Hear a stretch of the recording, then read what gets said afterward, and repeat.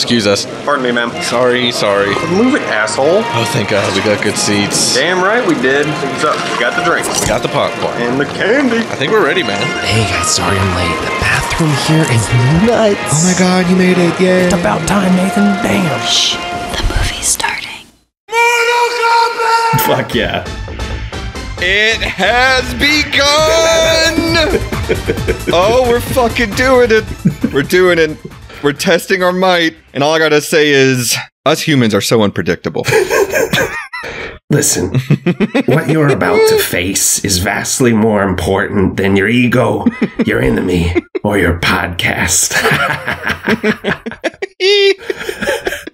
and this is. the Silver Linings playlist. And it, you know what? It really has begun. I'm Nathan. I'm Dustin. We're a podcast that tries to find the silver linings in some cinema's fucking raddest techno filled endings. Cliffhangers, raddest Yes. techno filled cliffhangers. And may I say, this episode feels very full circle Mhm. because uh, we talked about this very film on my very first episode. Did we in Crank? no, on The Happening. Oh, that's right. Uh, that's right. Because Yeah. that movie has the same ending as this one, essentially. Oh, that's right. That's right. We talked about how Shao Kahn maybe even shows up there in, in France He does. at the, at the end of the happening. Right. Yeah, the trees start uh, releasing killer pollen, Mm-hmm. and Mark Wahlberg says, I don't think so. hmm hmm And uh, yeah, I, I feel like this is the best time to talk about this movie because Mm. I think, if I'm doing the math right, this is our first episode of Black History Month. right. And god damn it, we got to pay respects to legendary combat fighter, martial arts expert Art Arlene. Lead. We got to do it. Everyone's favorite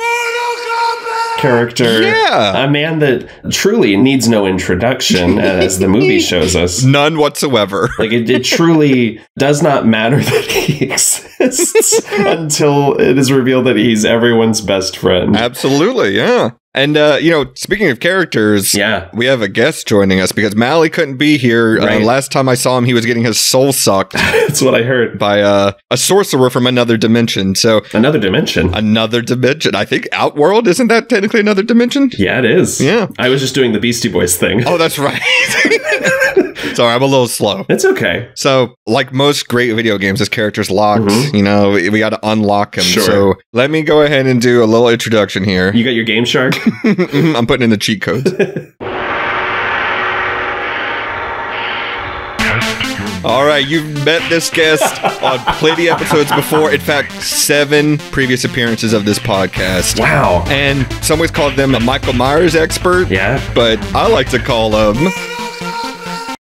after being locked away in Outworld, consisting of nothing but horrible Halloween sequels. Yeah. It's JT. Yeah. I'm here. Can I tell y'all something? Yeah. Every time JT's on the show, Dustin dresses it up in some kind of pageantry behind the scenes. He's always like, Nathan, I got a guest you'll never see coming. He's waiting in the wings. And I'm always just like, ah. it's motherfucking JT. Well, he asked me three days ago, Yeah. Sure.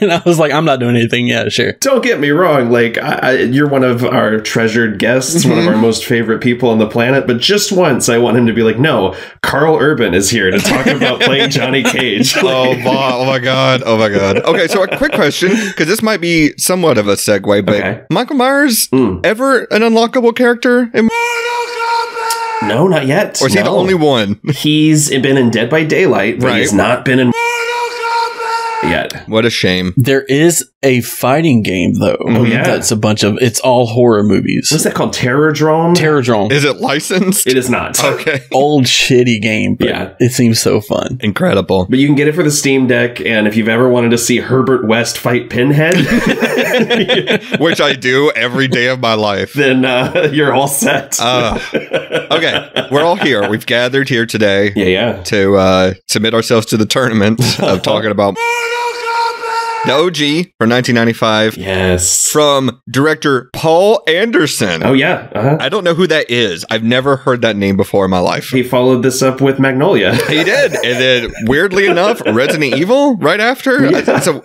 just tossing back and forth. I wish they were the same person. Should we make them fight Yes. for the name Paul Anderson? Should we put Paul W.S. and Paul T. Anderson like in a ring together? Yeah. Because as the movie's credits rolled on this and it said directed by Paul Anderson, I was like, "Oh, buddy, you're not going to be able to use that name for much longer I when know. this movie gets released." The WS started with Event Horizon, didn't it? Mhm. I think you might be right. Yeah. Future potential episode, by the way, Event Horizon. Yeah. Okay, before we really get, because I know we're all champion at the bit, because Yeah. this is an all timer for young Dustin from Shore, young JT, and young Nathan. Oh, yeah. But I did a lot of research for this movie. Wow. Okay. It doesn't warrant it. Doesn't need to happen. But can I tell you my favorite thing I came across? And Nathan, I think you of all people appreciate this as someone in journalism, you know, in writing and things like that. hmm I came across an article November 26th of 2018, which I think may have been Thanksgiving, Okay. on the website Decider. Uh huh. The headline caught my eye and raised some eyebrows, and I I had to read it regardless. And I want to share this with you guys. Okay. The article title is Is a metaphor for Scientology? Whoa. An examination by Brett White. Man, as someone who like a huge portion of my job is designing headlines around SEO, Uh-huh. that fucking rules. Mm-hmm. That rips. I'm not going to read this whole thing, but you'll get the tone of it very quickly. I just want to read some excerpts of this to you guys. So, there are exactly two distinct things that can happen in your brain after watching the 1995 martial arts video game masterpiece. Right in the thick of binging all two seasons of Leah Remini, Scientology, and the Aftermath on Hulu. Wow. Maybe nothing happens because you'd be hard pressed to find two things further apart on the content spectrum, or maybe the other option happens and all the right synapses fire and you finally see for what it truly is a metaphor for the dangers posed by Scientology, a metaphor with a whole lot of spin kicks set to otherworldly sounds of 90s industrial techno. Now, My God. well, wait, wait, it gets better. Oh, good. You might come around to my way of thinking, especially now that you know what to look for. You mm-hmm. won't even have to watch that much. It's all laid out in the opening scene. Now, do you guys remember the opening scene of The dream sequence, right? Yeah. exactly? Someone screams, kicking off the greatest movie song in history as the video game's logo is forged in fire. That logo, a dragon. What do Thetans look like? Googling what do Thetans look like yielded no satisfactory conclusions, so they don't look like dragons. The opening scene takes place in a distant, nightmarish dreamscape. Scientology's massive HQ is in Florida, so there's a parallel. the enigmatic ruler of Outworld, Shang Tsung, does battles with a child in order to defeat him and add another soul to his collection. It's not a child. I know. Let's break down the scenario. Using the a Scientology allegory glasses I just built from scratch. Hmm. Enigmatic leader, Shang Tsung could be a stand in for Scientology's charismatic founder, L. Ron Hubbard. Hmm. True. Or even current controversial leader, David Miscavige. Yeah. Fighting a child? While there's no proof that Hubbard or Miscavige ever fought a child, Hubbard did kidnap his daughter Alexis in 1951 mm-hmm. and lied to her mother that he'd cut the girl up into pieces and dumped her into the river. That sounds like a real life supervillain to me. Good God. So I don't know much about Scientology, they did it to this guy, so don't worry about it. but it sounds like it's fucking rad. It sounds like Dustin's painting a target on our backs with this episode. It sounds like somebody had a deadline and they needed an article due, so they're like, I don't fucking know. Let's let's put these apples and oranges together. Uh, you know, I don't mean to like trash this writer, but it is interesting that most of the the allegory is I don't know, fuck it. They're kind of similar because I it. decided. That's it. That's what I'm saying. Somebody had a deadline due. I guess it is from Decider. Yeah, yeah. Yeah. Hey, write about two things that do not go together. Yeah, you- you're you're drunk out at the bar with your editor, and Uh-huh. you're just like, you're like, hey man, I bet I could write an article about Scientology. I bet you five dollars. Okay, so I'm not going to finish this whole article, but there are a few more excerpts from it I want to read. Okay. The rest of the movie plays as an infiltration mission as Kang teams up with the government, uh, Sonya Blade, in order to take down Sung from within. That means traveling all the way to Outworld and getting right in the thick of it. hmm Come on, doesn't that sound like Operation Snow White, the case in the late 70s Oh, wow. that necessitated the government's involvement and intervention in all things Scientology? Again, a Google search for are there any FBI agents named Rated comes up with nothing, but that doesn't dissuade me. and then this is the last little bit I'm going to read from this article. Okay. It, it's such a fun read, but this is his conclusion. Yeah, I gotta check this out. Is a very thickly veiled metaphor for all the accusations made against Scientology over the last 40 years? I admit, probably not. Great. But much like you can't Google image search a Thetan, you can also can't prove that it's not. I love that. All I know for sure is writing this will definitely cause someone at Scientology to send a defensive email to my editor and probably make them skim through the wiki page. I love that. Bravo to, to, to Brett White. Yes, yeah, this man got paid to write a shit post, and I love it. Yeah, that was the dude's goal. He's like, I just want the Scientology people to give oh, a chance. That's so funny. It really, like, I my eyebrows went way up when I read this headline. I was like, this is either going to be a disaster or it's going to be amazing. Well, I did not do that much research, so I hope that'll be okay. I really respect that. I wrote an article last week uh, drawing parallels between Elden Ring and uh, Taylor Swift lyrics. So, like, I get it. Yeah. I get that. I, I understand this man's game. Incredible. So, I guess we should, if this is your first episode, you must be very confused. Let me kind of just briefly break down what we're doing here. So, Let us test your might. let's test your might and test your patience, honestly, because we haven't really even talked about the movie yet. Our show, we look at movies that don't end in nice little, neatly wrapped bows on the endings, things that have cliffhangers or bummer endings or things like that. In this movie, while you may think, well, hey guys, hold on, the Earth Realm won. They they beat the tournament. Mhm. They stopped Shang Tsung. Everything's great. No, no, my friend, because if you remember, if you throw your mind back all the way to 1995. you forgot about the Emperor. You forgot about Scooby Doo himself, Frank Welker, showing up at the very Yes! end and telling you that they've come for their souls and then mm-hmm. they're ready to fight. Cut to credit. So we're we're on a cliffhanger here. I gotta say, as a kid, I feel like this was the first time I was ever, I mean, outside of maybe Empire Strikes Back, being cognizant of watching a movie with a cliffhanger in it. Mm-hmm. At like seven or eight years old, I was like, damn, that's rock and roll. You know what? Paul W. S. Anderson is not a great director, but man, if he wants to do a cliffhanger ending, he can fucking do it. Because Oh Resident Evil, The ending of Resident Evil, yeah. Holy shit. But yeah, no, this movie was a staple in my household as a child. Like Uh-huh. this one and the other great 90s New Line Cinema movie, TMNT 2, Secret of the Ooze. Hell yes, brother. Heavy rotation. The VHSs were worn out by the end of their runs. Like it was non stop for me. I don't know if there was a sale on New Line Media, but like when I was a child, my first DVDs I owned were this Uh huh. and Ninja Turtles 1. Mm. and I I watched those on constant rotation. I had Yeah. Mm-hmm. I had Secret of the Ooze on VHS, but like once I had a DVD player, I was like, this is the fucking future. The future. JT, what was your household like with this movie? So I remember, and I couldn't tell you the name of what the actual cartoon show was, but there was a cartoon. Oh, yeah. Defenders of the Realm. Okay. Yeah. Yeah. So my parents, who knew about the games and how violent they were, they still let us play them Uh-huh. because it was 16 bit. They were like, whatever. but when the movie came out and we really wanted it, they're like, no, hold on now. Here's a nice cartoon. Right. It's like we got at home here.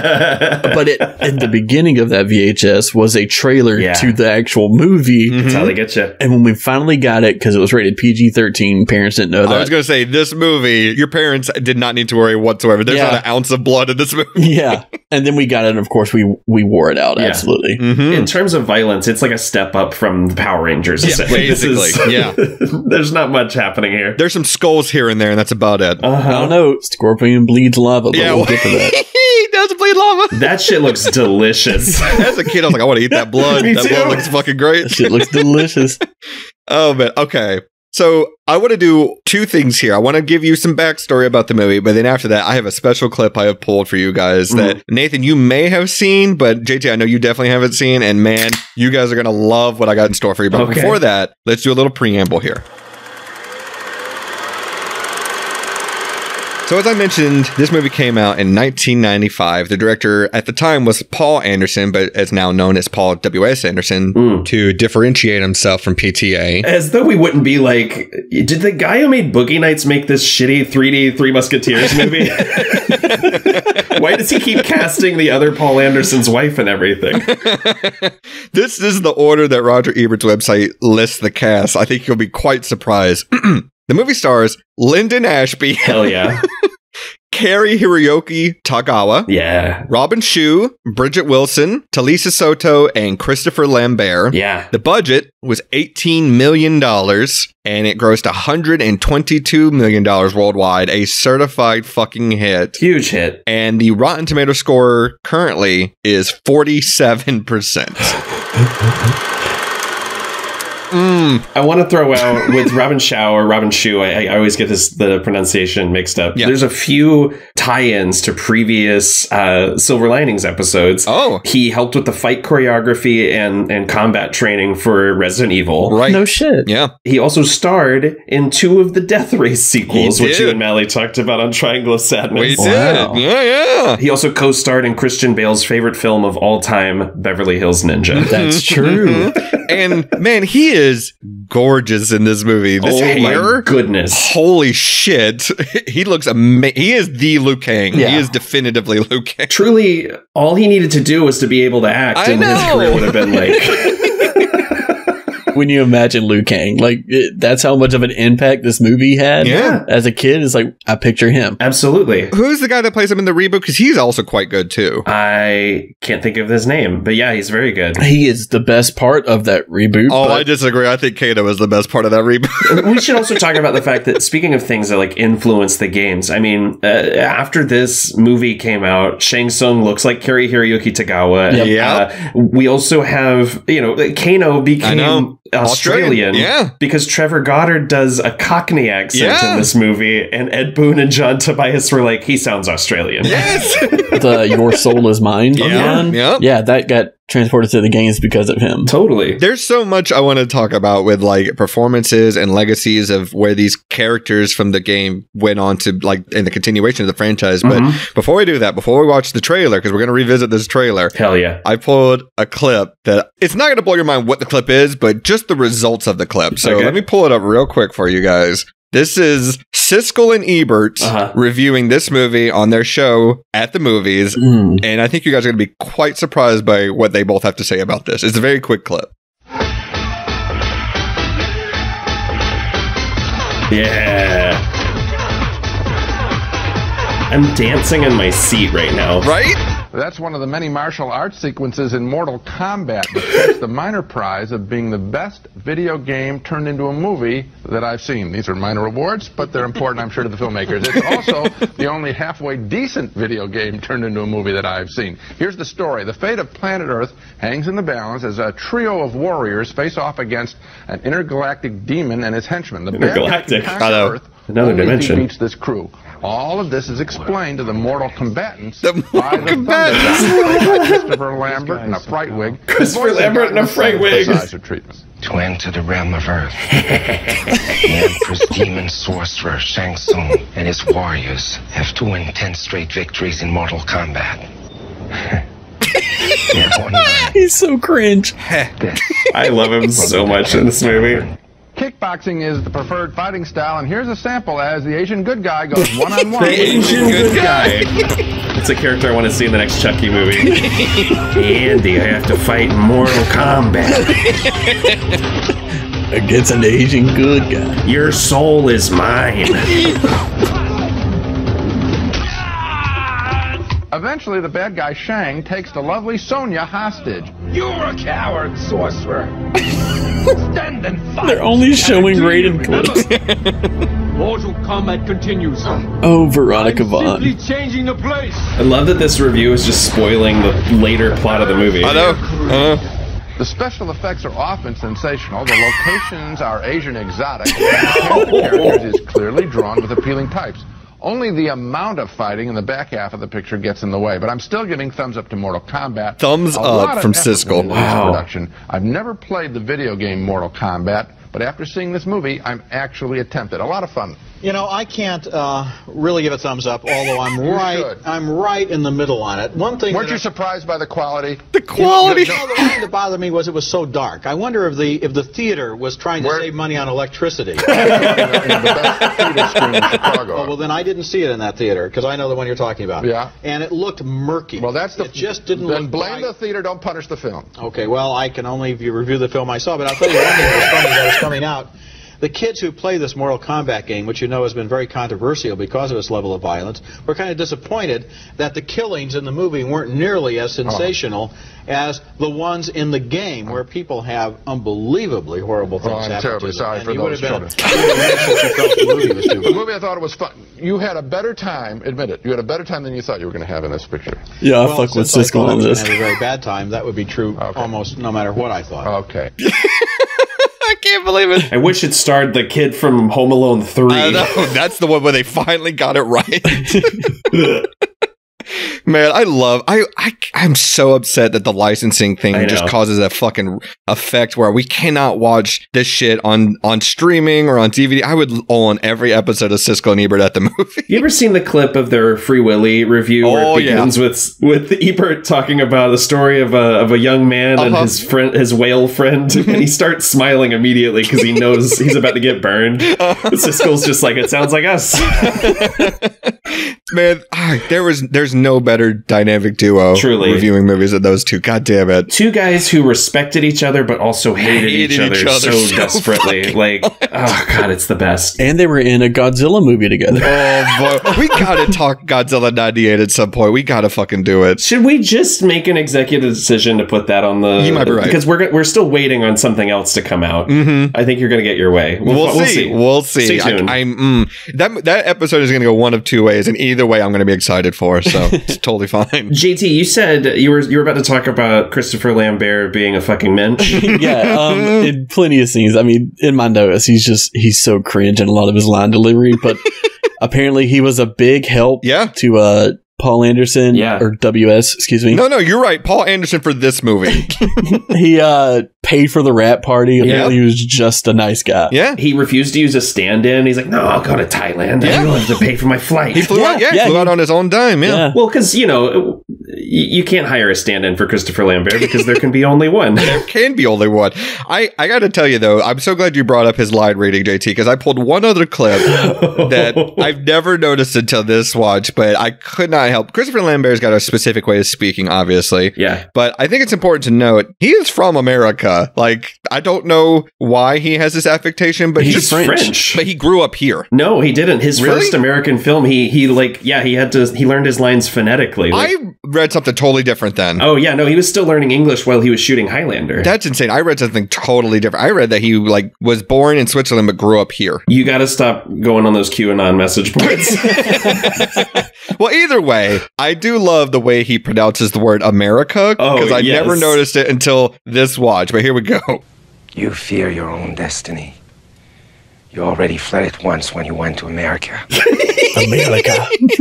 America. he sounds like a Call of Duty villain.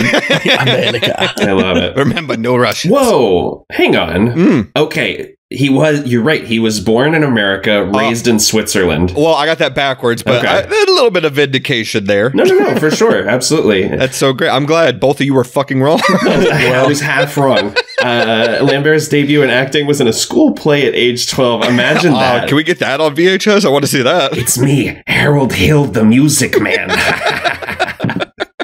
Man, I, I have I have a love hate relationship with him in this movie. Oh, uh, mostly love, but there's some there's some stuff we got to talk about. I feel like nostalgia gets in the way of it, though. yes, totally. Yep. We have our blinders on. Yeah, we're also in 2024 looking at this 1995 movie. There's some problems. Yeah. I mean, it's fully fucking insane that he's playing the Japanese god of thunder, yeah. and that he's That even Liu Kang is curious. Like he's all like, "You're no god of thunder. Are you kidding me?" even beyond that. The original choice for the role was Sean Connery. Yep. Ooh. Yep. We almost had a different Highlander in the movie. Yeah. Well, I think this movie, and I even have it in my notes, like we can just go ahead and say, like, or we'll keep saying It's perfect. the CGI and stuff is just awful. Yeah. But we can't just keep saying it. But this movie is so good. We again, we put our blinders on. And you're like, well, it's not. No, no, it's bad.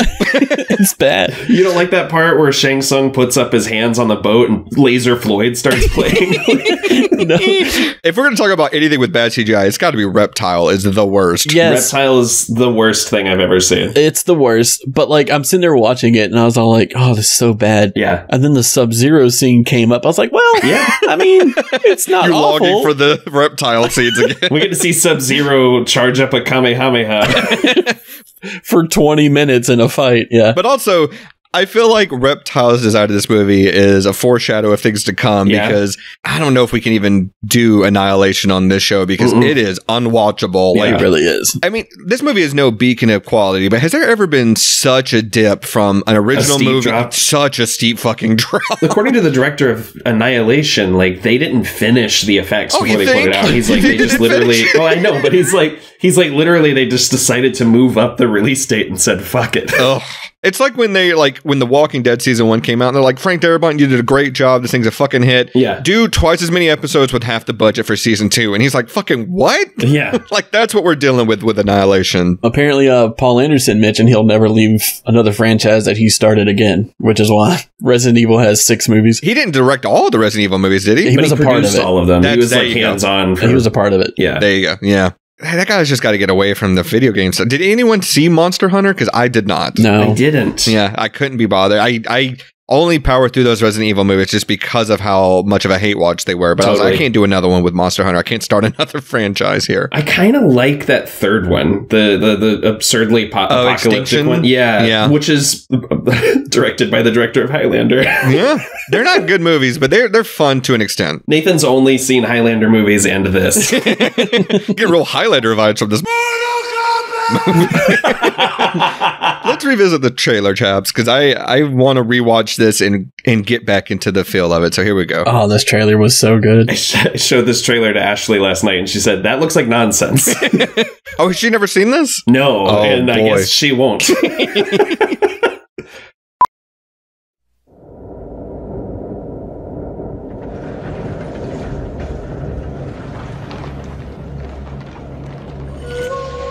New line.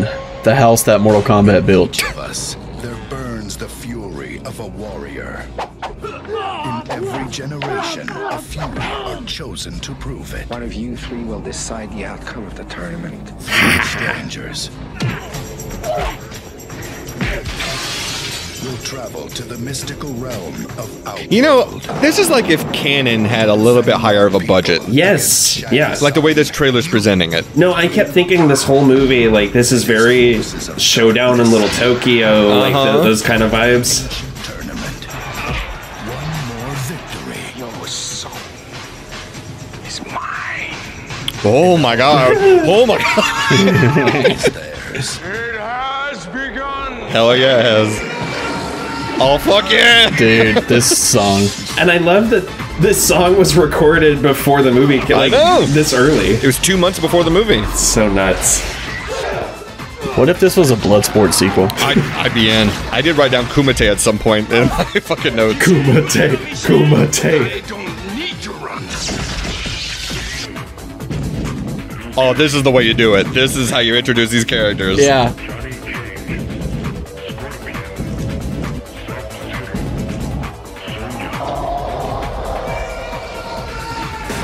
Da, da, da, da, da, da, da, da, da, da. First techno album to go platinum, I think. I know. Boy, that's. I want to rewatch the movie right now. I know. Can we hang up the phone and go get this, go watch the movie? again? No, I. What's so fun about that trailer is it really sells the idea that every single one of Cary Hiroyuki Tagawa's line deliveries is a yippee ki motherfucker. Yeah. Dude goes into his audition, uh, stands on a chair wearing a costume, and they're like, "Yeah, this is our guy." It was kind of surprising how many times I wrote down in my notes, like, God damn it, the, this guy's fucking got it, or Yeah. this lady's fucking got Like, they embody these characters way more than they should in this shitty movie. Oh, yeah. oh my God, he's so fucking good. Yeah. I couldn't believe how good he was as Shang Tsung. It- and we mentioned Trevor Goddard. Yeah. As, as Kano is really doing it up. Bridgette Wilson, literally coming off the set of Billy Madison. Yeah. Because for those who don't know, originally we could have had Cameron Diaz as Sonya. Yeah. Blade. Right. She had already started filming the movie, broke her wrist, and had to be taken off the shoot. And Bridgette Wilson got flown in to star in this movie. So, like, she's got a sort of vengeful rage that I've never seen a woman this angry in a movie before. I think she's so stiff in this movie, Really? but I, I, I do, I do. Well, I think. I, I don't think the dialogue does her any favors because I do actually like Bridgette Wilson quite a bit. I don't know, man. That Kano fight, I feel. oh, that fight's great. Oh. Well, she was also learning the choreography Yep. during takes, like Yeah. between takes. Yeah. So for a rush situation like that, I think she did solid. Oh, totally. I do think in those quieter scenes, she is fairly stiff. I'll give you that. That's what I mean. yeah. And I think that's why Christopher Lambert stands out so much because he's the only one that doesn't fit. Yeah. You know, like everybody else is killing the role, and then you got him showing up. But see, he's killing it by doing his own thing. Yeah. I think he's so entertaining. He's so camp in this movie. The the bit where he's just like, sorry. Yeah. it's, it's so ridiculous. This is what I, I, th- I started thinking about it this time because Raiden throughout this movie, uh, and by the way, they also changed the spelling of his name for some reason in the subtitles. They spelled it R A Y D E N. I don't know why. That's I think how it was spelled in the original arcade game, maybe. Or Oh, okay. I know it was spelled that way in like the comics, but yeah, since then they've they've fixed the spelling or changed the spelling. Got it. I feel like I can see that spelling in the old school font Got it. from the games. Well, I just thought about it this time because he kind of just once they get to the island, he just kind of comes and goes as he pleases, and I'm like, what is Raiden doing when he's not on screen? Does Yeah. he just go back to his hotel room and put on the TV? Hey, that's the entire movie, Dustin. Like people just come and go. They fight in the woods. It- Yes. there's no fucking rules. I have so many notes about the rules. yeah, I have. I don't know the rules. There's no rules. Well, there's one big rule that I feel like kind of overshadows the whole movie that we'll Uh-huh. talk about when we get there. But New rules. New rules. Let's go back to the the intro because within two seconds Yeah. of this movie starting, before you even see the new line production card, this movie is fucking hype. Yeah. This shit goes so fucking. Even today, this fucking song by the Immortals, who makes the theme song. It's still a hard as fuck song. Yeah. Like all you have to do in any situation, whether you're like about to play the movie or not, is just shout. And people are fucking hyped Yeah. immediately. I pressed play on this and immediately started smiling. Yeah. I was like, I'm in. All right. All right. This movie. In the opening credits, I mean, it's kind of ripping off Batman '89 with Uh-huh. the the whole logo thing, but like, I'm I'm still fucking in. Like, I'm I'm in seeing the logo with the flames. Oh, yeah. and and the song playing. It's it's so good. It's so fucking good. it was written for the um home release co- or home console release of of the game, of the first game, yeah, yeah, the first game, and then it went platinum yeah. as the movie came out and stuff. Well, and it was originally supposed to have a grunge or metal soundtrack, and like every record label turned New Line down. They're like, no, video game movies aren't popular. They're Yeah. not going to do well. And then, yeah, th- this ends up becoming such a smash hit. Yeah. How many video game movies did we have before this? We had Super Mario Brothers for sure. Mhm. Um, Street Fighter was a year before this. Right, and we were gonna get Van Damme as Johnny Cage, but he turned this down to do Street Fighter. Mm. And we had, I I think, Double Dragon was the year before this as well. You might be right. You might be. So we had a couple for sure. Nothing really hit. Nothing was substantial. I was curious about that. As I was watching, I was like, what was there at the time? And if you look at the first Resident Evil, Paul W. and even really that whole franchise, Yeah. Paul W. S. Anderson eh, makes certified video game hits. I don't know how well Monster Hunter did, but I mean, he he taps into that market pretty well. I think that movie came out like during COVID, I if think I you're right. correctly. Yeah. So it was, it kind of ate shit. So I love how Shang Tsung, a sorcerer from another dimension, Hell and yeah. yet he still just does hand to hand combat. Yep. like that's most people in this movie can do incredible things. They're like, no, let's just do a couple punches and kickies. Well, I think the key here is that uh, Lou's brother Chen is terrible at fighting. yeah, yeah. This is a flawless victory, technically, right? Yeah. Yeah. I mean, th- they stretch the uh, Oh, they stretch we'll the talk limits about of that. what that means. Oh, we'll talk about that. Shoot, don't worry. We'll get to that, dude. Oh my god, can't just throw that term around all willy nilly. Yeah, I know. So Liu Kang has this honestly incredible, vivid nightmare about something he could not be privy to Uh-huh. about his brother dying at the hands of Shang Tsung. And then, man, he wakes up in this apartment. Uh-huh. This telegram from his grandfather. dude. To the point, though. Yep. To the point. Liu Kang, brother, dead, return, home, grandfather. it is the funniest fucking thing I've ever seen in a movie. Grandpa's letter was to the point. Is my notes exactly? He was being charged by the letter. It says Luke Cage, brother dead, return home, grandfather. Like there's no, hey, how you doing? Got some bad news. So good. You know, nothing like I don't know what rates Western Union had, but they must have been through the roof. I mean, as someone who sprinkles all of my emails with no worries if Uh-huh. not, Yeah. like, Yeah. I are you in a, a position to learn information that may hurt you?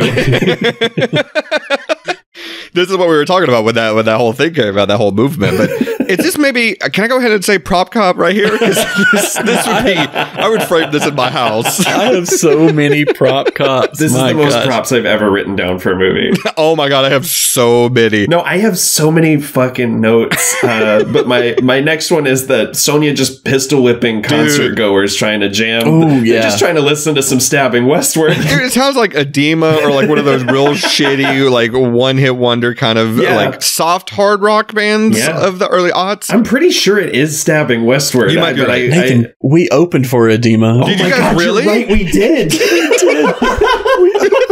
opened for them in Dothan, Alabama. Yep. Oh my god. The opening act blew out the speakers, so it took two hours before we went on stage. Oh boy. It was an interesting evening. Ugh, and they still wanted us to play an hour. It Oh was a God. nightmare. It was. that's awful. And also, do you ever think, and and, you know, the, the the the subsection of people listening to this podcast who give a shit about Adema and are alive today, like, uh, is probably very small. But The Venn diagram is separate circles. Like, the lead singer of that band is Jonathan Davis's like brother, right? Or oh, cousin? that makes sense. Yeah. that makes a lot of sense. And I always wondered if they named the band after that the beatboxing part from Freak on a Leash, where Oh, he just thought he was saying "Tapumna taumna Adema." Or he misspelled Adidas and he was like, oh, just fuck it. AD. I don't know. All day I dream about mom. Yo, Korn taught me how to spell Adidas Mhm. as a child. And uh, Jim Carrey taught me how to spell beautiful. Yeah. And um, Bruce Almighty. That's right. So, yeah, she's straight up just smashing the butt of her shotgun into the faces of civilians in this club. Yeah. With the world's comically largest flashlight. Yeah. Oh my gosh. Yeah. It goes down the entire gun. She shoots this shotgun at a guy who shoots at her with an Uzi. No one in the club reacts. Not the musicians, not the fans. She blasts him through a wall. This is like the club scene in The Crow. She blasts this guy through a wall, Uh-huh. then grabs him and is just like trying to interrogate him. And I'm like, you shot him in the chest. with a shotgun. Hey, he had body armor on. Did he? I don't care. Batman's I know, going to sleep know, if you do that. Doesn't make you invulnerable. That shit will knock you on your ass. This is also where we start to get tons of expository dialogue, like Oh, yeah. Kano turning towards the camera and saying, "Mr. Shang Tsung." Oh, yeah. Isn't that right? Beat Mr. Shanks. yeah. This movie almost plays like a like a video game? a comic, but like this just jumps from scene to scene to like move the plot along. They don't care about Why are you here? they don't Right. care about character development because we already know the characters. Mm-hmm. they were just like, let's get the shit moving. Well, to be fair, they weren't characters. They were names and they were like ideas of what they look like. But there, there's no characterization in that first. Is there? No. Not really. There's there's like cutscenes that give us like static images and exposition, but there is a not even cutscenes, just like images that Yeah. tell us their story. Yeah. There's a scene later on where Shang Tsung looks at Goro and is just like, "Here's Kitana's deal. She's ten thousand years old." Like we all know all of this, right? Yeah. Like, why are we saying this out loud to each other? Yeah. Oh, that's Goro when he's talking to Kano. He gives his whole backstory. Right. But speaking of Kano, I, I genuinely do think, even though he is chewing the scenery, Trevor Goddard is great in this movie. I mean, Oh, he's great. we do have to say RIP to the man. Yeah. Yeah. I don't want to go fully into his story, but Right. yeah, he did uh, have an overdose Mhm. amidst his divorce, and man, just it, just read his Wikipedia article. It's it's disheartening because Yeah. I think he could have had a pretty good like maybe not like a A list career after this movie, but he could have been like in some you know action movies like as like not to this extent, but um. Fuck, I am blanking on his name and he's a legend, but the guy from John Wick 4, holy shit, why am I blanking on his name? Oh, Scott Adkins. Yeah, no, that was exactly. Nope, nope, nope, nope. I'm, I'm thinking of the blind character. Oh, Donnie Yen. Yeah, Oh, Donnie why Yen. can I not? I don't know why I blanked on Donnie Yen, but yes, he could have had like something like that. You know what I mean? That is exactly what I was going to say. You could see Trevor Goddard becoming like a Daniel Bernhardt type, right? Like he pops up in The Matrix. He Yeah. pops up in John Wick. Like, yeah, absolutely. yeah, it's a, it's a real shame. I, I love every scene he's in. Every line he delivers is so fucking funny. I think he has the best shot in the entire movie. Oh, that turn around with the red eye. With Yeah. the red oh, yeah. eye and the sparks and the chain and stuff. Yeah. Oh, they're doing Terminator for sure. Yeah, Uh, well, who cares? the attention to detail in the costumes here, because like you know, four or five years after this, we have the X Men running around in just black, you know, leather jackets. Yeah. Right. why? Like the fact that we've got you know all these palette swapped ninjas running around, Yeah. and we've got Kano with a big robot eye. I just I love it. I love that they went full video game. They did. They embraced what they, you know, what the whole atmosphere was. Yeah. I mean, the most of this movie at the beginning is just character introductions, and none better than Johnny Cage's intro. It is a lot of fun. Yeah. Oh god, yeah. But it's also funny to think like in this world because make no mistake, this hmm. cameo of the director was supposed to be Steven Spielberg. Yeah. I know, isn't that crazy? Yeah. He was going to do it, but backed out because of quote scheduling conflicts, which I'll let you make of that what you will. Uh-huh. But this intro is so great because in this world, Steven Spielberg is basically directing the equivalent of a Steven Seagal level action movie. Yeah. It's so fucking Yeah. funny. And I And I'm not saying Steven Spielberg shouldn't do Under Siege 3 now. Right. Like,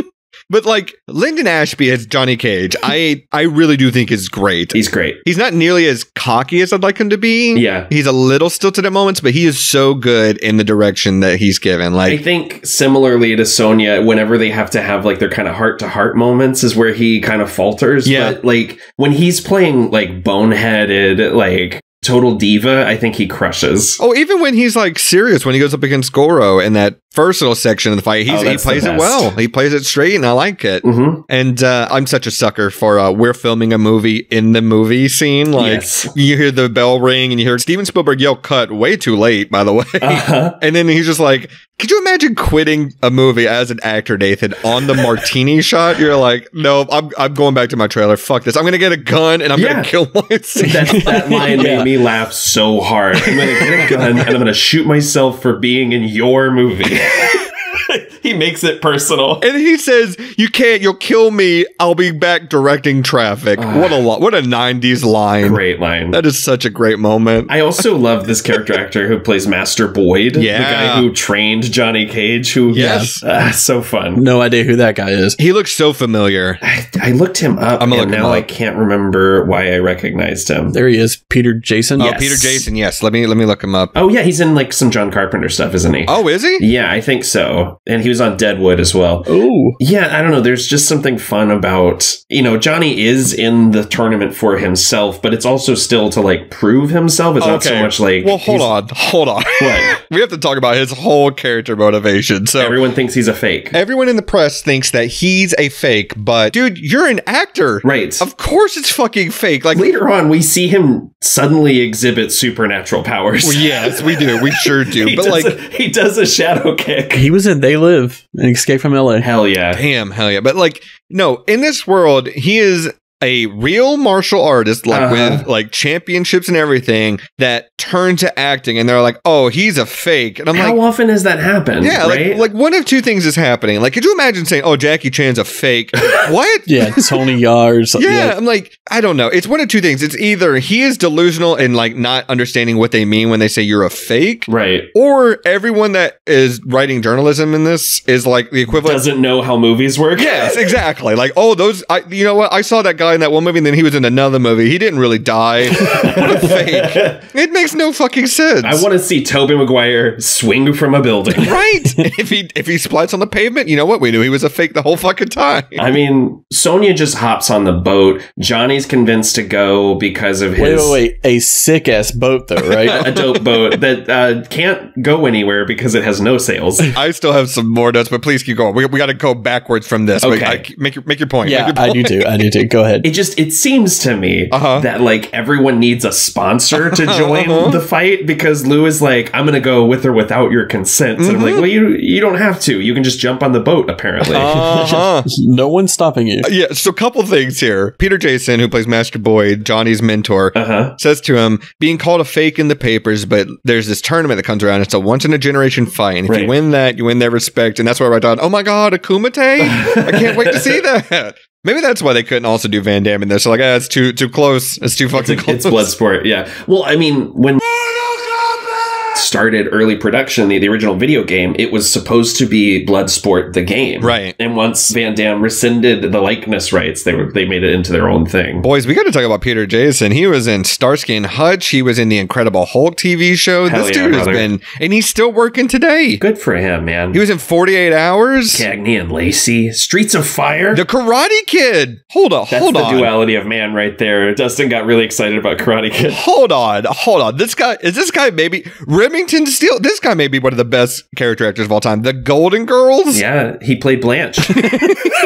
Played Blanche. He's in Prince of Darkness. oh, right. He's in Red Heat. This, the Hunt for Red October. This dude. Arachnophobia. Guys, hold on. We're gonna go through this whole thing. Okay, Quantum wait. Leap. Wait, he was in Batman the Animated Series in one episode of that. Holy sh- he's in Roseanne, married with children. Holy shit, he's in in the mouth of madness. Hell yeah! Oh my fucking god. Oh my god. Dr. Quinn, Medicine Man. Wait, he's in a music video with Meatloaf. He's in Village of the Damned. He's in Congo. Murder She Wrote. the Glimmer Man. this dude, Dante's Peak. Pinky and the Brain. Holy fucking shit. Okay, we'll, we'll- we're not even in the odds yet. We'll stop. He was in Fallout 2. He was in Fallout 2. So was the voice of Goro, by the way. Oh, yeah. Um, uh, what's his name? Uh, Kevin Michael Richardson. Kevin Michael Richardson. Yes, he's he's in that uh, too. Batman Beyond the movie. Holy shit. Okay, we got we got to stop. We got to stop. We'll be here forever.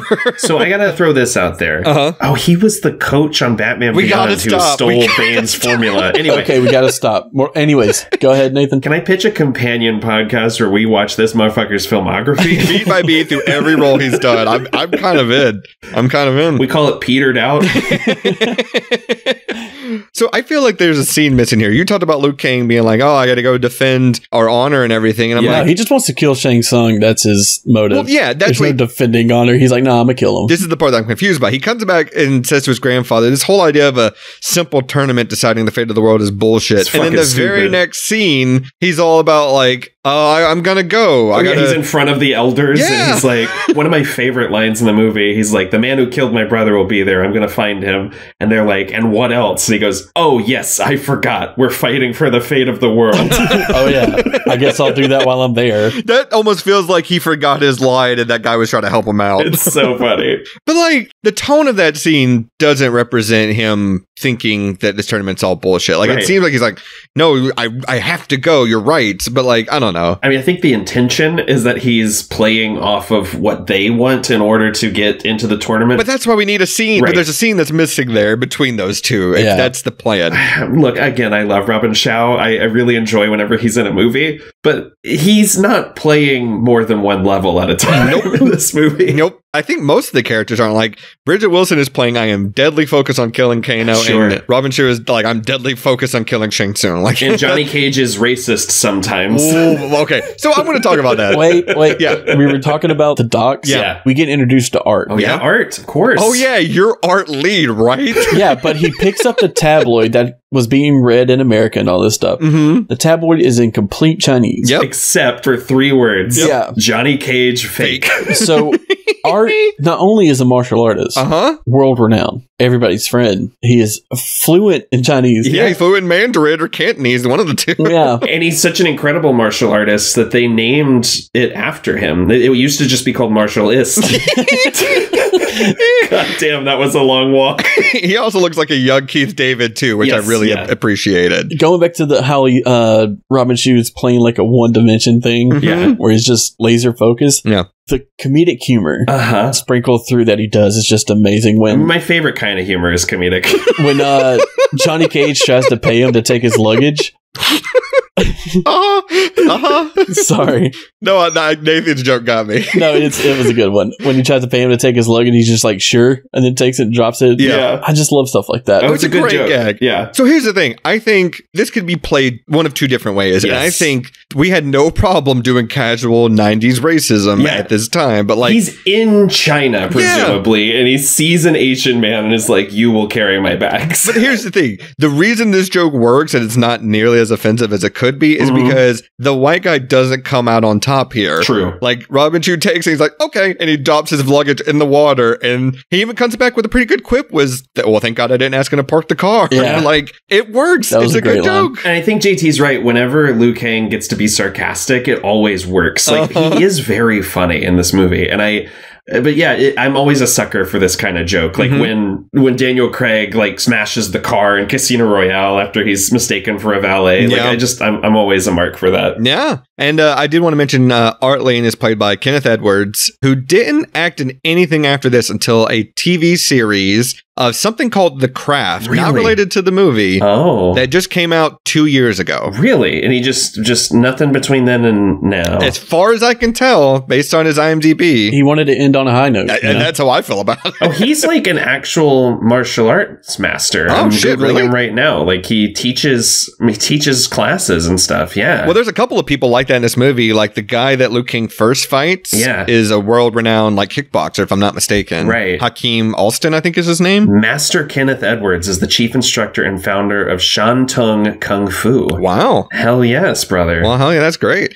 One other thing about this dock scene, this movie commits several cardinal sins Uh-huh. against the franchise. And one of the biggest ones is right here because Jax is introduced, but he's only a cameo. Yeah. Uh-huh. Like he's the guy sitting right next to Sonya that sees Kano, and then they recast him in the next movie. Well, we know it's Jax because she has that quip where she's like, I trust one person on this planet, Jax, and you're talking to her. Uh huh. Jax is sitting there like, what the fuck? I'm gonna go get some metal arms. Fuck this. Yeah, fuck this.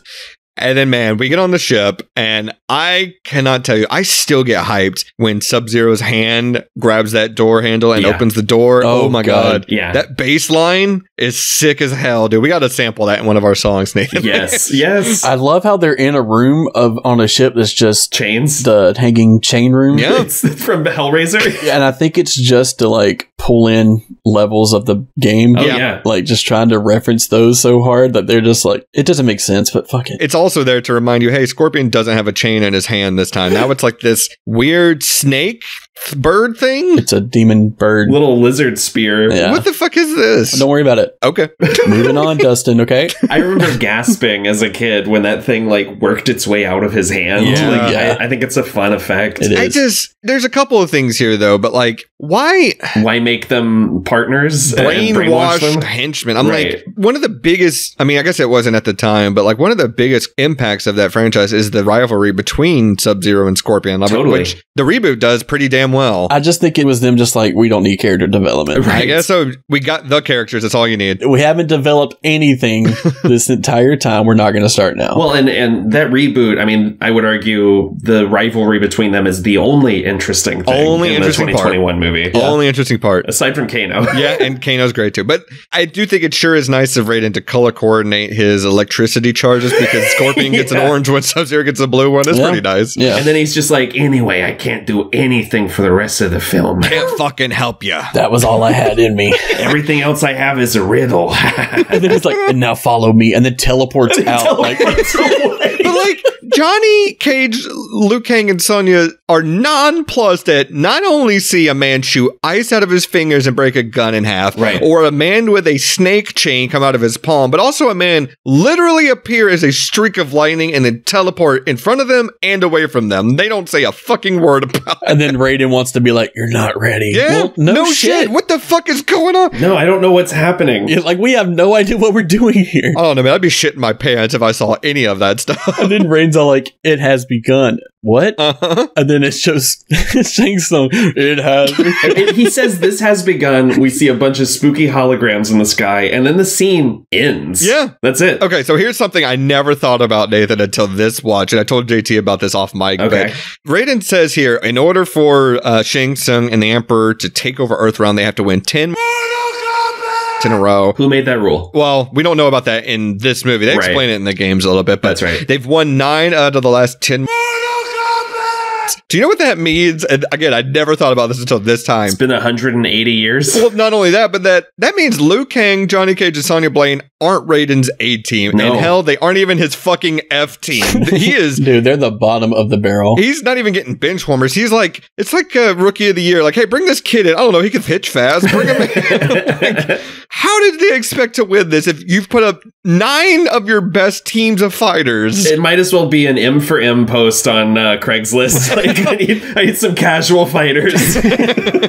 some street fighters, if you will. I need some people off the street. Come fight for me. People on the street. People on the street. Some mortals, just any average mortal that can fight in combat. But yeah, I think Christopher Lambert is pretty good. His laugh is so fucking camp. But this could have been a lot worse. And in fact, it is a lot worse when you get fucking James Remar in the fucking sequel. Oh my god! Oh my and I God. love James Remar, but Me that's too. such a wild bit of casting. We don't need to talk about it. No, we got to bring him up a little bit, man. He's fucking awful. He's the Bruno of this. we don't talk about James Remar. No, that movie is the Bruno of this. Not just him. I love him. I love when Christopher Lambert's accent slips out, though. Mm-hmm. Like the, the the one you said earlier, America, but he also has the bit where he says to to Liu Kang, "You still concerned only with vengeance, Yes. he says adversary in a weird way, too. He says ad- adversary." adversary. That's right. yeah, Dude, and then he like gets to Sonya and just like whispers in her ear. Oh my god, so he gets real close. Sonya, I- I'm going to pull a quote from one of my favorite podcasts that cover this movie. We hate movies, but Uh-huh. Steven said it best. He's like, Sonya is a hair away from being uh, sexually assaulted throughout this whole movie. At all times, Yeah. and arguably she is off camera because someone makes her change clothes for the final act. I know. White snakes her hair. Yeah. Also, Sonya's entire arc in this movie is everyone agreeing off mic, there's no way you can win. Yeah. Like, everyone knows that you can't beat anybody. Everyone's like, you're a charity case to be here. So sad. we need you for the diversity of like, we're reaching goals here. Right. That's basically what it feels like. But we get to this island. Oh, we're like an hour into this podcast. We haven't even got to. Yeah. That's but- okay. The movie doesn't get to until about 40 minutes in. Well, you know what? For as bad as this movie is, it is objectively bad. You know what this movie has that that 2021 reboot doesn't have? Sets? A fucking tournament. Oh, it has yes. a fucking True. tournament. it has an actual. Mm-hmm. Anyways, we get to this island, and so far, I, I kept a, a running tally of here are the fuck ups this movie has made so far. Okay. So, first one, Scorpion and Sub Zero being brainwashed and being Shang Tsung's lackey is pretty shitty. Mm-hmm. Jax only being a cameo, Lord Raiden being played by a white guy, Mm-hmm. Steven Spielberg not getting to film his own cameo. Yeah. Reptile is an actual reptile thing that I don't understand. PS1 lizard. A tiny little CGI lizard who looks like a cover of a Zoo Books magazine. Oh shit. It's it's a previs Zoo Books magazine. Yes. It's like a mid transformation animorph. so far, and for the rest of the movie, zero blood. yes. You're already, uh, you know, put off pretty hard by this movie. But we get to this island. I love the physical comedy of Johnny falling straight forward Oh, with his yeah. suitcases into the water. It's good stuff. Yeah. no, that's great. But Nathan, I'm sure you'll appreciate this. We get introduced to former Bond girl, Talisa Soto. Oh, yeah. As Kitana, Yeah. looking incredible. Oh god, yeah. Well, I mean, she was in License to Kill with Yep. Cary-Hiroyuki Tagawa as well. Yep. Yeah. So from this point forward, I think the locations and set design Mhm. is absolutely gorgeous. Oh, it looks great. Like you have like the the temples, even like the little beach Yeah. combat arena area. Yeah. It's just so cool. I think the production design's pretty good, honestly, this movie. At one point, Ashley looked over while I was watching the fight between Goro and Johnny, and she was like, This is like on a fucking set. Mm-hmm. That is an amazing animatronic, like a puppet. Like, Oh, it's I- two. It's two things. Right. It's a like it's a guy in a suit Right. also being controlled by yeah, like by uh Like Ninja Turtles style. Yeah. Yeah. God, I want what he has. I want to live that life. I want someone to shove me in a suit and control me. Which this this made me think about it too on this watch. Which came first Mm. canonically? Was it Thanos adopting Gamora or Shao Kahn adopting Kitana? oh, man. I don't remember, actually. Because like this is ninety five. I think they invented this idea of Kitana for this movie, right? Or was this in the first game? I think it's in the second game, but Thanos Thanos has been around since the 70s, but I don't remember when. okay, I just thought about it. Yeah. There's a lot this movie is pulling from, and I just thought maybe if that was a coincidence or if like they were inspired by that. But because yeah, I can't think of too many instances in pop culture where like an emperor character adopts a woman to just be his heir to the throne. You know what I mean? Reminded me of another conversation I had with Ashley recently. She's like, You're telling me there's a Marvel character called the Purple Man, and it's David Tennant, not the guy from Infinity War. Yeah.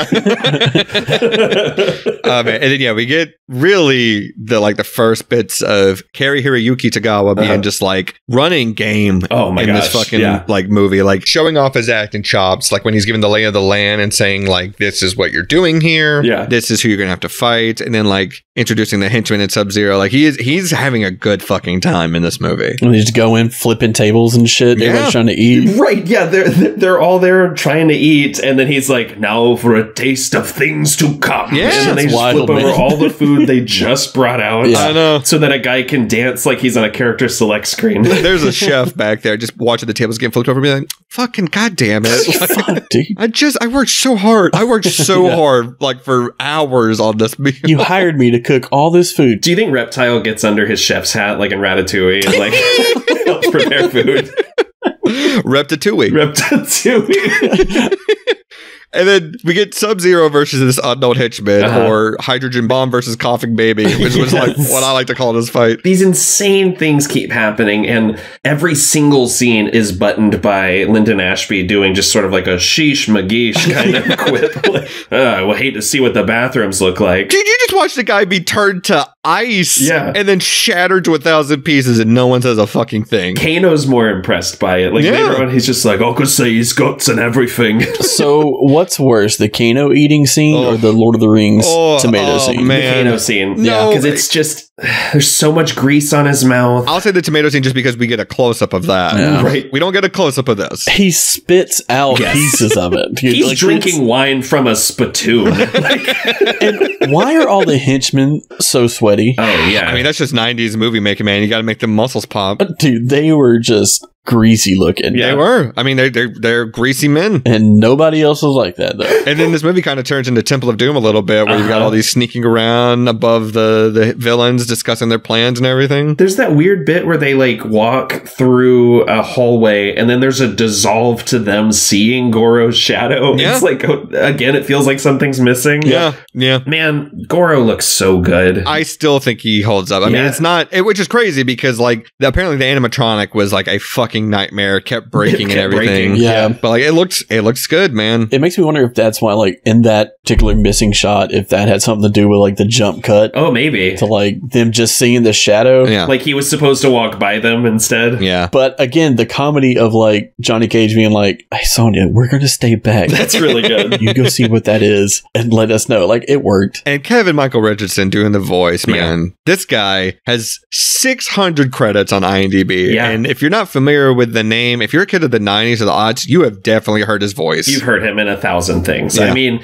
one of my favorite bits of trivia about him is that he voiced the Joker on The Batman. Yep. Was nominated for an Emmy for it. And I, I remember Mark Hamill getting salty about it because he was never nominated for an award for his performance as the Joker, at least not for an Emmy. That's crazy. Yeah. That is Yeah. genuinely crazy. And then, yeah, this is where they kind of go over their plan. And Shang Tsung's like, "Oh, I have plans for my beautiful Sonya." I was like, "Well, I don't like that. Yeah. Right. I don't like the word. I don't like how you said that." Nope. And then another fuck up here, I think, Yeah. is Liu Kang talks about how he's a descendant of Kung Lao. Kung Lao never shown. Yeah. I feel like that's a fuck up too. Being mentioned and and never explained Yeah. either, really. Yeah. I love this whole bit though of Johnny being like, no, it's this way. I can smell her perfume. And it just leads them back to the banquet room. Yeah. Which means he smelled Goro or Kano's perfume.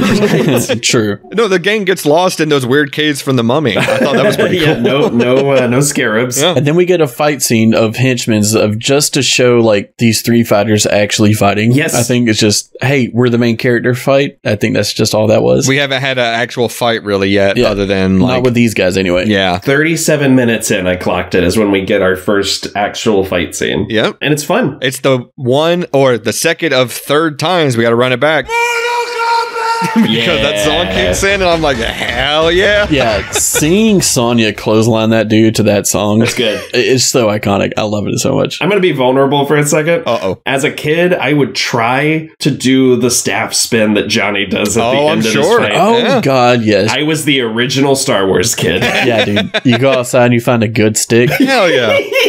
yes. Fuck yeah, dude. There's two moments of this fight that I it just stands out to being so fucking goofy. Mhm. Number one is that one cutaway shot to Liu Kang doing a cartwheel over a stair ledge. Yes. And I'm like, dude, I could do that. Like there's no henchman there. And he just like poses for the camera. Yeah. And then Sonya does the clothesline and then like the camera just holds on her face, just staring off into the distance. I'm like, are you She's not even really glaring. No. She's just staring. It's so funny. it's like she broke down. Like she powered down like the animatronic of Goro. like the windows power down. the sequel is so much worse about that too. Oh, like you just have characters do there's one shot in the sequel that I remember that is just showing Raiden and another fighter just doing backflips Yeah, for like a solid minute and a half. I remember that. yeah. Right when he uh, becomes mortal, oh right. he just jumps out doing flips. Just hey, look what I can do. Cuts his hair, gets that cunty little vest. Yeah, you're gonna have to get John for the sequel, doesn't I know. I'm not doing that. I do like uh, a slow clap from off screen. I'm Yes. always a sucker for that too. And it Same. pans over, and Christopher Lambert's just sitting there. Being fucking weird, like just sitting there. And again, a sign of things to come when the henchmen start approaching the gang, and he goes, "I don't think so." right. And he has a little lightning coming from his fingertip, and then Anyway, now that the first fight's over, we can leave this one. yeah, I have no powers here. we'll just walk away. And then again, Johnny Cage being like, "Baby, glad he stopped us." Yeah. I just I love it. He's always got to put a button on the scene. It's a good joke. And then we get Hakim Alston, as I've talked about, the, the guy that fights Liu Kang here. Uh huh. Man, this little tiger roar they give him Yeah. is chef's kiss. It's That is great. such a good little touch. It always stuck with me as a kid. Like I remember, like the playground like rumors. I was like, maybe like he was a character that didn't make it into the game or something. Yeah, yeah, yeah, yeah. Something I'll say too is, and I'm going to quote the producer of the movie here, Lawrence. Um, I can't remember his name, but uh, he said, you know, when you see the fighting in this movie and the stunts, you're seeing the actors do the fights, Oh, and yeah. like the choreography is not great, but at least I get to see the actors actually like doing these punches and stuff like that. And it looks like this fight with Hakim here. Looks pretty fucking cool. Yeah. Yeah. Well, there was an interesting thing about how like Paul W. S. Anderson had, sorry, Paul Anderson Uh, had no. watch your tongue. I'm so sorry. He had Watch your damn mouth. he had no experience shooting action scenes, Yeah. and so he was shooting everything in crazy wide shots Yeah. and wearing down the actors until Robin Shou was like, "Hey, that's not how that works. Yeah. man. you got to break it up." Yeah. well, the fight choreographer was like some kind of like whatever the highest degree black belt. I can't remember. I saw something on it, Mhm. but the dude's a legend. But I think it's worth noting that two of the fights in this movie were added in reshoots. Yep. The, the fight against Scorpion Yep. and the fight against Reptile. Yep. And those are the best fights in the movie, Yeah. and they were choreographed by Robin Shou. yeah. Boy, that scorpion fight, my god. Yeah, he had only done like a couple of things before he did as a director. I think Yeah. he did one other movie, honestly. hmm I'm looking it up just to be sure, but I think he did like a short film called Shopping, I think is what it was called. Yeah. Uh huh. And crazy to think that he hasn't really done that many movies, honestly. Like, this is also uh, to JT's point earlier about the structure of the tournament. We cut here to the beach with all of these guys surrounding the actual tournament space. Yeah. And Liu Kang and his opponent are clearly like in the middle. And then Shang says, Liu Kang, you will be first. And Yeah. I'm like, yeah, no shit. Like, Yeah. isn't that why we're here? Yeah, like I was told to be here. I like the way he says Liu Kang too, by the way. He goes, Liu Kang! And it's not like we were just walking on the beach and stumbled across this ring. well, you'd be forgiven because that's how a lot of fights in this movie happens. People just kind of walk into it. That's how one of the fights starts later. Yeah. That's how like three of the fights happen. Yeah. Like there's no announcement. right? And then we see Shang Tsung take a soul for the first time. Okay, uh-huh. first, no, wait, wait, wait, wait, wait, wait. I think it's unfair that Shang Tsung is able to perform a fatality on a guy he did not fight. Yeah. That doesn't seem right. It's not fair. Yeah. They wanted a reason to use fatality, and it was that. They got it. They got that right. It's like drinking a, a Capri Sun that someone else opened for you. or like uh, someone's putting together your Lego set and you put on the final piece. It's like I, I built this, I did it. I think that's how Mallie actually puts his together. and then we cut right away to uh, the Sonya and Kano fight. yeah, we're in the tournament montage Yeah. portion of the movie. Man, him stepping out of the shadows though with the kiss and the "Hello, baby, did you miss me?" I'm like, oh, he's so Hello, good. baby. He's so good at being bad. Ooh. I love this fight. I love the realistic version of the leg grab Oh. attack. Like they're still trying to ground it a little bit. yeah. No, I, I gotta say that is uh you know it's not sexist. You can have a man fighting a woman. That's Uh-huh. that's true equality. And the gutter rolls that she puts out when she gets kicked. Yeah. Oh, I felt that. Yeah. I remember as a kid, it was like I feel bad for her. I mean, it is a little unfair that Kano's got a knife. Yeah. Oh yeah, that's the other thing is like the the fight before this, Liu Kang and his opponent both have s- bow staffs. Yeah. Kano gets a knife, and then you know when we're in the woods, no audience, Yep. no announcer, not a cell phone in sight, just two men vibing. It's not sanctioned at all. No. But uh, I feel like Nathan and I have to say this. Uh, Okay. Sonya Blade goes full Xenia Onatopp. She does. Oh. She sure does. And then, man, she gets a James Bond quip there too, a little bit there. Yeah. He's like, oh, give me a break. Give me a break. okay. Breaks his fucking neck. So good. Mojito. This movie's not afraid to kill the, the big characters, which I do appreciate, honestly. mm-hmm. Mm-hmm. It's pretty nice. And yeah, yeah, like you mentioned, this fight between Scorpion and, and Johnny Cage was added after test audiences saw the movie and they're like, hey, man, there's not enough in this movie. So what's wild about it? The original version of this scene is just him running away from the spear. I love the bit about the spear breaking into the the tree. Oh, and the little eye twitch that Scorpion does. Ooh. Yeah. But it ended with Johnny just running at Scorpion, doing that shadow kick, and that took him out. And they were like, yeah, we need more. Yeah. So let's take him to hell. Dude, oh let's take God. them to hell. It's not enough here. Right. This shit's so fucking metal. Welcome. That welcome. Oh, God damn it, I laughed so fucking hard this time. I like when he does a little twist on his catchphrase with the Get, down, here. That's not a thing. but as a kid, that shit got me so hyped when he's like, "Welcome." Dude, that welcome is so fucking funny though. It's so fucking funny. Cheesy now, great as a kid. I also enjoy the the Slayer esque uh, drums and guitar that kick in in the sequence. The off tempo fucking guitar riff there. Yeah. Dude, and Johnny Cage's raptor defense gymnastics that he does up the scaffolding, he does all that work and is such a feat of strength. And then Scorpion just get down here and kicks him down. Johnny busts out the Gymkata. So wild.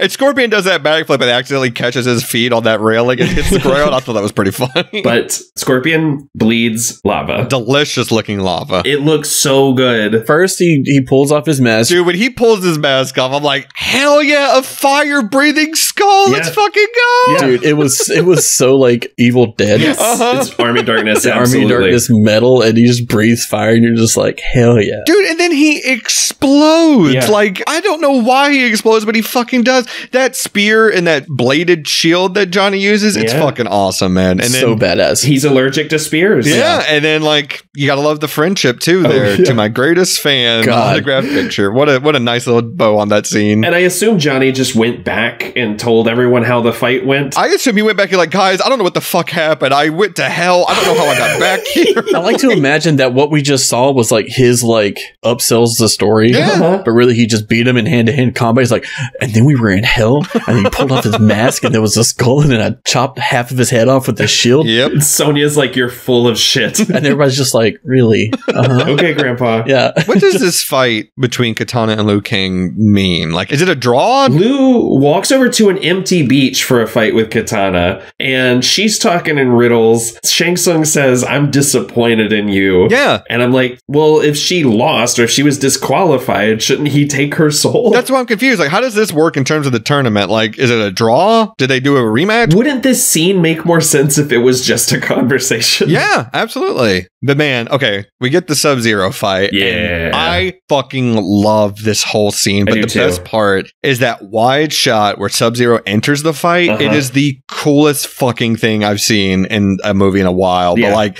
it's so great because there's the silent entrance of him just like walking down the steps. Yeah. The poses that they both do at the start of the fight, the lighting, the composition. It is perfect. Well, what it's funny because I was thinking when I was watching it, I saw him walking down the stairs, and I knew it was coming, but I was like, shouldn't Liu Kang kind of like ready up, Yeah. like get down in like the little arena thing? I was like, why is he standing there? And then the pose happened. I was like, oh, that's why. Because it's fucking baller as shit as It's- why. yeah, it was to look cool. The number of times that someone walks downstairs while like a happens in this movie, Yep. it needs to be studied because somehow it hits every single time. But this one, I love the silent entrance. There's Yeah. there's just like a light little music in the background, but man, it's great. And then, uh, yeah, as you mentioned, it's convenient that it takes Sub Zero about 17 minutes to make his ice shield, right. which is just the right amount of time for Liu Kang to throw water. at Oh yeah. Well, Kitana comes in and telepathically tells him, Use the element that brings life. "Yep, What if he thought it was semen? the element that brings life, and he just starts jerking off. at him. wasn't it Raiden that came in there and dropped the buckets of water off?" yes, that's what I'm saying. Is this cheating on Raiden's part to bring this water bucket and place it right here at the start of this fight? Just in case you get thirsty. And again, how did he know they were gonna fight? Because this fight is not sanctioned. I There's think no- this one is because Liu Kang does get like brought there by a monk and told where to stand. Uh-huh. I think this one is sanctioned, Mm. but I don't know. I had no idea. Raiden is like, this water is the equivalent of a steel chair. Putting it in the ring. A foreign object, if you will. oh man. And then when Shang Tsung goes to Goro and he's like, it's time. And then just, oh, these bodies just getting tossed around. That shit's so wild. Oh. You know what's funny is uh, Goro kills all these dudes in a gravel pit, but Art doesn't have to fight him there. No, he gets he gets a nice little boxing ring. That's It's Very nice of them. Poor Art. Am I right? Art gets the shit beat out of him. What's so funny is so after Sub Zero is killed, Shang Tsung goes to Goro and he goes, "We've let these humans win enough." And I was like, "Then just send Goro out first." First, Yeah. the first guy. Dude, this is the last you need to take over this whole world. Right. Send your strongest out. Don't fucking play around. Right. I'm curious if this was Art's first fight. Oh, that That's sucks. really funny. He's been waiting a week. the way this movie is structured, we meet Art at the docks, and then Uh-huh. we see him at the dinner with Johnny Cage at the beginning where Sub Zero kills that random henchman. Uh-huh. And then this is the next time we see him. and now he's everyone's best friend. Everyone's Sonya best friend. weeps for him. Sonya's guttural, no! that she does. I'm like, you've never spoken to him. Only Johnny Cage has spoke to him. You just met. yeah. Your best friend is Johnny Cage, and you treat him like shit. I know, right? I love that bit with Goro catching Art's hands Yes. and beating him up, but it it's kind of undercut by seeing Art's vinegar strokes face right before he dies. and then, man, when Goro picks him up and says, time to die. I was like, ooh, oh, it's good. hell yeah. so during that fight, there's a cameo of Ed Boon and John Tobias. They're the hype men yeah, they're for the Goro? hype men. They're the Goro hype men. Hang on. I gotta ask. Uh-oh. Is one of them the guy that looks like Scott Stapp A that's little like bit, in the middle of the fight? Yes. Okay. Yep. That's great. You can see them in the Johnny Cage fight at the beginning. Yes. Okay. They're the two guys that like look at each other and go, yeah, yeah. Fuck yeah. I was gonna say that's Nathan and I's bit part. That has to be where Goro's hype men. It's kind of amazing that at no point in this movie did someone like lean into the corner of the screen and just go toasty. Yeah, I wanted that somewhere. I don't know where it would be though. A good place to put it. When Scorpion explodes. okay, so we talked about the rules not making a whole lot of sense in this movie, Uh-huh. but uh, when Goro kills Art here and Shang Tsung steals his soul, he says flawless victory, and I'm like, uh, no, No. No. that's not what that means. Art got a couple hits in on Goro. Yeah. You got a couple hits in, but everyone's just like, there's no hope. And Johnny volunteers to fight Goro. Yeah. Like, wh- how does this work? I like, don't he know. has to put in a request to fight Goro. Shang Tsung has to approve it and sign it in triplicate. Like, There's another movie where, like, if you just challenge somebody, they have to fight no matter what. uh huh. I'm sure there's plenty of fighting tournament movies like that, but We skipped the uh your soul is mine. Yeah. Fazine goes into his eye. Yep. Oh, yeah. It didn't work like that before, but now it does. I, I give it a pass, man. He's a sorcerer. yeah. It looks like the reverse of the shot when uh, Shaq comes out of the lamp and or out of the uh, boombox. See, I think that shot is what they were going to do with if instead of water, Liu Kang just used semen to fight he off. shoots it into his eyes. the jizz is going into his eye. Amazing. So Johnny Johnny's in love with Sonya Blade, right? And Sure. he tells her well, we didn't know that. he's like, I can't let what happened to Art happen to you, not to you. Yeah. And it's like the least convincing line delivery in the movie. But also, Sonya cares now. She Yeah. does. and their relationship jumps 10 steps uh, behind the scenes. It blossoms. yeah. But there's also this movie has its own version of the winding camera sound effect from Texas Chainsaw Massacre that it Oh. uses during transitions. I don't know if you guys heard it, but it's like a Oh, it's like yeah. a sting of some kind. Yeah. they do it a lot here too. Yes. It's like a kind of sound effect. what was that again? it's it's uh Drew York from Straight from the Path. Yeah. but yeah, if Shang Tsung is allowed to pick anyone to fight, yes. regardless if they're the semifinalist of or not, what's the point of the, whole, tournament? Here's essentially what happens is Raiden tells them, look, there's always a way to win. I'm like, great, that really helps. Yep. And then Shang Tsung essentially says, I'm paraphrasing here, if you win, I get to challenge the winner. Or Or, anyone, anyone else. else. and we can fight wherever. I'm just making this up. and then he says the line, Lord Raiden, the rules are quite clear. they sure are not.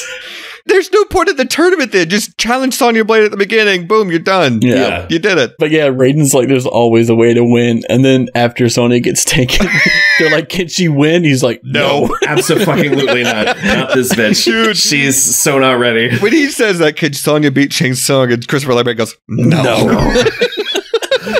a word that I understand in every language. This is like law. Before we get to that, we got to talk about the Johnny Cage and Goro fight. Uh, I loved it. I love the nut punch. Yeah. It's so funny. Not only is it great because it's one of Johnny Cage's signature moves from the game, Uh huh. but the way they build up the tension here of this fight with him breaking the sunglasses and the Yeah. music, and the first thing Johnny does is he just does a split and punches him in the balls. It is Yep. so. I think the groan Goro is making Yes. after getting punched the balls. It's so fucking funny, dude. and Johnny hurts his wrist. yeah. He that dude's got balls of steel. I love how much detail went into the Goro animatronic. Where like his eyes are bulging. Uh-huh. It's Yeah. just it's cartoony somehow. And it was it was so good. He's like Marv in Home Alone. Dude, the face and the sound that Goro makes. It's like when I go to Five Guys and they tell me my total. I'm like, "Oh." man. And then, man, little five year old me watching this movie, there's one line of this movie that I would repeat constantly and constantly get in trouble for. Yes. But that is, those were $500 sunglasses, asshole. Yeah. Great line. Nathan, you'd like this. In my notes, I put Goro has nards. Goro has Nords. this movie honestly is pretty good with the callbacks because Goro, you know, ends up hanging off the side of the cliff and Yeah. he says, This is where you fall down. Yeah. so good. And then, Nathan, what do you think is funnier? Goro falling into the clouds or the head of OCP falling out of that building at the end of Robocop? Like, which one? who, who did it better? I mean, double the arms, double the comedy. I Well, always that's say. what I'm saying. Goro's got the about the same amount of length, like arm span, as that guy did. Have you seen uh like the behind the scenes of that shot? I have, I have. It's equally as funny. By the way, I don't know if you've ever watched the unrated cut of RoboCop, but it was put out from Shout Factory a couple years ago. The scene where Ed 209 unloads on that dude in the conference Oh room, my God. it goes on for a full like two and a half No. minutes. It's, No. it is so fucking funny. It goes on forever. God, I wish we could do Robocop on the show. Fuck. I know, I know. God. I think every year y'all should do an April Fool's episode. I like this idea. I like this idea. Can I tell y'all, I I tried to convince Ashley to watch RoboCop because it is one of those movies that is so hard to pitch if you don't like really know like you know how it works, Yeah. or you know the, the tone of that movie. Yeah, because when you say the name of the movie, you're like, I know exactly what that movie's going to be. And I'm like, eh, unless you've seen it, you really don't. you Which don't was know what that movie's Verhoeven's gonna be. reaction to the screenplay. Yeah. yeah. But to my everlasting shame, the way I tried to sell this movie was no, no, no, no. It's the director of Showgirls, Gets them every time. That would have worked on me, by the way. uh, a movie that fucking rules, and I keep trying to figure out how to put it on the schedule. Right, right. And then, yeah, Shang Tsung steals Sonya. He's like, I'll, I'll get an easy win here, basically fighting her. Raiden says, "Follow them. If you look hard enough, you'll find a guide." I and know. you know, Kitana just shows up and is like, "Hey guys." But then he says, I have nothing further to teach you, Luke Cage. I'm like, what the? F- well, you didn't teach a goddamn thing. What are you talking about? Yeah, I forgot because Liu Kang said something about going to save her. I can't remember exactly what it was, Yeah. but it was at that moment when Raiden's like, "I've been waiting for you to say that this whole time." Yeah. It's like I have nothing else to teach you. Like, Yeah. You waited for a cop out. I you haven't done shit. he might as well have said like, "Raiden, you're a useless piece of shit," and he's like, "Oh, perfect." You were a terrible Obi Wan Kenobi. That's all. I'll say. Ooh, that's a good parallel. Like you're a piece of shit. Well, there's some other parallels here at the end to Star Wars we'll talk about in a Oh, minute, boy. but they get to Outworld and then Liu Kang just has like predator vision and sees Reptile there. I love that scene Yeah. where he's like walking and Johnny Cage is like, "What are you doing? Yeah. That's me looking at my sleep paralysis demon. what are you doing?" I love the announcer letting us know that this guy is in fact a reptile. Yeah. He may have the best theme of the whole movie Yeah. besides the main one. His song is fucking awesome. Yeah. And maybe the greatest mask of all the ninjas too. Yeah, he gets thrown into the uh, statue thing. Yeah. and then it, little vines trap him That morphs into a ninja. to a ninja. yeah, then that's when we get Reptile. yeah. That was a great introduction. the scene originally ended with him just being tossed into the statue, and that was the end of the scene. Oh. And then the fight was added in reshoots. I mean, I guess you could say, yeah, that he just became one of those statues and that's the end of Reptile. But no, the fight's fucking great. Because Reptile was first introduced as like someone to like guard Kitana, right? Yeah. like he was just there. In the movie, yeah. okay, But he's also like the guy playing Reptile is vocalizing as he's fighting, on like Scorpion and Sub Zero Uh-huh. Like it's muffled, but it sounds cool. It's like Michael Myers and Rob Zombie's Halloween 2. Like it's the same kind of like just Yeah. The- the grunts and exacerbated. Like yeah, Yeah. it's fucking. It's a great fight. I think it's the best fight in the movie. Yeah. like from a technical, like martial arts standpoint. I no, think it's it's really cool. the choreography is so clean. Yeah. It's so fun. I think one of them got bruised ribs or something. Robin from getting Shaw thrown into did, a pillar. yeah. Oh yeah, Robin Shou broke some ribs or something. Yeah, Yeah. that he choreographed. Imagine that you choreograph a fight and get your ribs broken. I love the little snake-like twitch that Reptile does. Yes. Little moments like that make this fight way better than it has any right to be. But why does he turn into bugs? I could not tell you. could not tell you. like Oogie Boogie is is reptile. I love the silly jump kick. The bicycle kick? Yeah. He does the bicycle kick, but it becomes the. There's a scene. JT will appreciate this. The scene from Guyver 2 where he just like does that flying kick through the air that goes on forever. It's so good. Yeah, where he spins like a like horizontally. Oh, Yes. God. Can we do Guyver too? Yes. Okay. It has a happy ending, but we can. I'm gonna go ahead and let you know. Uh, so he squishes Reptile, and Kitana steps out and says, "You're finally learning." Yeah. And I'm like, "To kick?" to kill people, apparently. But also, to answer your question, JT, I think the reason he turned into bugs is that statue had a silver shamrock mask in it. Oh. he gets kicked into it. Yeah. But also, where the fuck is Johnny during this whole fight? Why is he not helping? This is not a sanctioned fight. I know. I love like this is just a street thug fight that could go south. Is it a street fight? Is that what you're saying? The Yeah. street fighters? They're fighting in the street that gets kicked into a temple of some kind. so this is one part of the movie we absolutely do not need, and it's when Kitana is walking with Liu Kang and Johnny Cage, and like, look, you're gonna go have to fight Shang Tsung. You will face three challenges Oh, in his sure. fight. I'm like, you don't need this. You do not need this at all. Just Three vaguely defined challenges. and then we spin up this CG tower, Yeah. and we see Sonya Blade that's suddenly dressed like Barbarella for some reason. And she's got hair from a Whitesnake video. Yeah. she looks like that extra in Society, Nathan. yes. this is also like the 30th time they mentioned the Emperor, mm-hmm. But has not called him by name. We saw his hologram on the boat. Yeah. We see a CGI statue cutout face on the tower. Yeah. Uh-huh. Never see the fucking Emperor. But someone looked at that tower and it's just like, you know what? I think that's the Night Slasher from Cobra. I was gonna say, I was gonna say, but also that's kind of Star Wars: A New Hope. Like we talk about the Emperor in that movie, we don't see him Oh, until sure. the next movie. True. So, but then yeah, Sonya says, "I refuse to fight you," and then she says, "My friends will come for me," and I'm like, "Fucking what? Your friends? You've been here like one day. What are you talking about?" and you've negged them the entire time. the whole time you keep saying, "I don't need help. I do things on my own." Like, what are you talking about? Like, I truly don't understand the rules, but it is so funny to me that this whole scene is people standing around and saying, Sonya can't do this, Yeah. including Sonya. yeah, I don't know. So, so Liu Kang steps forward and is basically like, I am the protagonist. Yeah, that's what I was gonna say. Something. I mean, both of their fights, when they do fight, like they have pretty equal skills. I would say. Uh-huh. Like, there's nothing that separates Liu Kang from Sonya in terms of fighting. Like, they don't have any powers at that point or anything. I mean, the closest is fucking Liu Kang defying gravity with that bicycle kick he just did.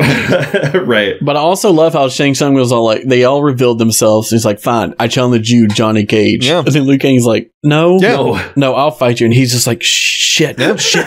he's just like, fuck, this is my plan and it's going to shit. well, I also think there's something to be said about the fact that this big '90s Hollywood movie had two Asian men in the lead roles, and Yeah. like, that's the final conflict. That's got to be, you know, something's got to be accounted for something there. You know. Totally. And I do love, I mean, Shang Tsung kind of gets on his back heels immediately. Yeah. He essentially has a nobody makes me bleed my own blood. Yeah, he he, Yeah. he bleeds from his lip and he goes, You fool. That fight starts, and we got to run it back for a third time, baby. Yes, sir. You know, I think I'm going to put every time we say Mortal Kombat in this episode, I'm just going to drop that cue. I mean, that's up to you, you how long you want to spend editing. well, I mean, we're already like an hour and a half in. We haven't even got to the end of the movie yet, but uh, how funny would it be if this episode's longer than our episode on Blue is the Warmest Color? we're going to split into two parts, like when JT and I did The Shining. We're going to have to talk about. Yeah. Uh, this seems like cheating, though, tagging in other people to fight for you. yeah. I think this part's a missed opportunity to bring in some. Other characters like Smoke and stuff. Yeah. Yeah. Other characters or characters that we've seen die in this movie. Yeah. Like, bring back in art. like a zombified art. Oh, Yeah. Make art evil. Yeah. Ooh, that'd be rough. Yeah. But that's also 100% video game logic of Yes. like, you fight the final boss and then he brings in other people you got to fight before you can get back to him. Yeah, you got phase two. Yeah. I love that Kitana tells us, oh, he has to face the souls of a thousand dead warriors, and then like, It's like six, six guys. randos jump out of the ground. yeah, no, these are six homies, dude. Six guys, and I'm pretty sure at least one or two of them go out with like a kick. right. So I remember when I was watching it and it got to the end of the movie, I was like, so those three trials that Kitana was mentioning that we're not even doing those, right? Oh no, we do. We technically do. yeah, because, no, she's listing all the things that during the fight are the three trials. Uh huh. And I was like, oh, okay. So let me just take off that note. Yeah. I, I was confused as everybody else. Well, no, because she says you'll face your enemy. That's the guy she just faced. You face yourself, which is the easiest one. He says one sentence, Yeah. and he goes, "We all make our own destiny." And he's like, "All right, you did that one. All right, now uh, face Your worst fear. face your biggest fear." Yeah. And then Liu Kang's a fucking idiot Yeah. because he's looking at Shang Tsung with his back to him. when he turns into Chan. Yeah, and he's like, "Dude, that was right in front of you." Yeah, he's like, yeah, Raiden sent me. Yeah. And then, man, maybe the funniest line of the movie is when Chan goes, Hey, remember when our parents died? Oh, yeah. oh, yeah. I, for- I totally forgot. Shang Tsung in his head was all like, quick, I need to say something that only he would know. I gotta find something, yeah. hey, remember our parents died? That was weird, right? and then for some reason, because the spikes start spitting out from the ground below them, The aluminum foil. Yeah. The reason is it's time to be in the pit set from the game. nobody says like Johnny, Sonya, or Kitana. None of them go, "Hey, Lube, just be careful. There's a bunch of fucking spikes down here." hey, well, no, because they couldn't help with the fight of six different dudes. I guess. So I guess, but no, it's. it's one of the trials, doesn't he? He goes, Shang Tsung killed my brother, and he goes, "You're mine," and they start fighting again. And then he defeats them. He does like the Little the fireball. the Powerball thing, which is, dude, I couldn't express to you how hyped little five year old me was at seeing Oh, that yeah. fireball. Roll forward punch. Yeah. He says flawless victory, and I'm like, He no, does. it fucking isn't. No. no it isn't. he beat the shit out of you. Oh, I forgot to mention. He also says something like Shang Tsung's beating the shit out of Liu Kang. And he goes, "Oh, the chosen one," like Right. mocking him. I'm like, we got to stop pretending like that's a thing. That is not a thing. Yeah. In this movie, that Liu Kang's the chosen one. Well, Liu Kang even tells us, "I am the chosen one." yeah, I know. That's what I meant, like the Star Wars relation. I'm like, you're not the fucking. There's, there's no chosen one in this movie. What are Right. you talking about? Yeah, they haven't mentioned any kind of chosen one really. Yeah.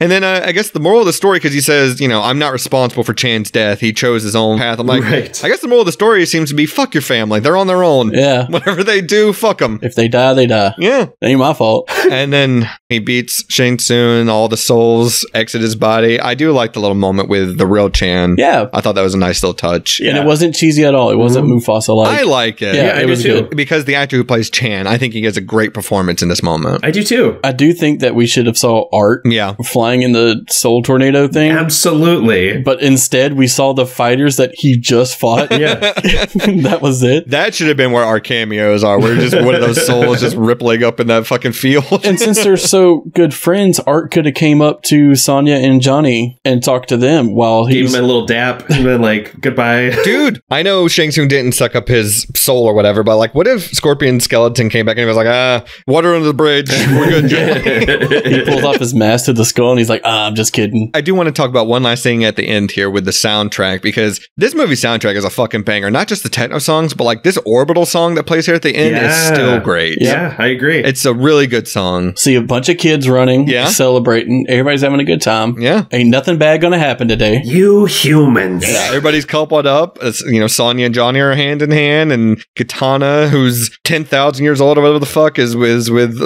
Liu Kang. Presumably Raiden and Liu Kang's grandfather.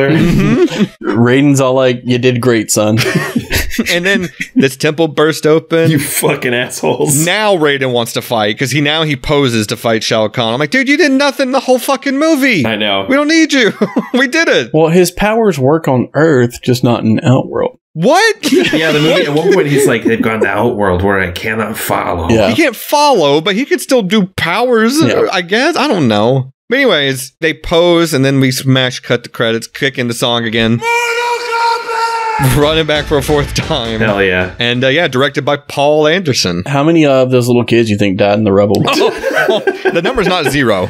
I mean, it goes to shit immediately when Annihilation starts. God. yeah, what if uh what if Shao Kahn's like, ah, fatality, flawless victory? It blew my mind watching this movie again and thinking, like, the screenwriter of the second movie said, yeah, we should definitely kill off Johnny Cage in the first three seconds of this film. Oh my god! In the first few moments of that movie, and they're Yeah. like, "Let's recast Sonya Blade. Let's recast Raiden. Let's recast Shao Kahn. Right. Let's get uh, was it Brian Thompson? Is that his name? Let's Brian get him Thompson, in here. yeah. yeah. And, and he doesn't wear his mask through most of the movie. I know. Yeah, that movie is unwatchable. It's garbage. God. Bridgette Wilson was uh filming I Know What You Did Last Summer. Hell yeah. And that's why she can't do it. Good choice. That Yeah. movie rips. Yeah. Yeah.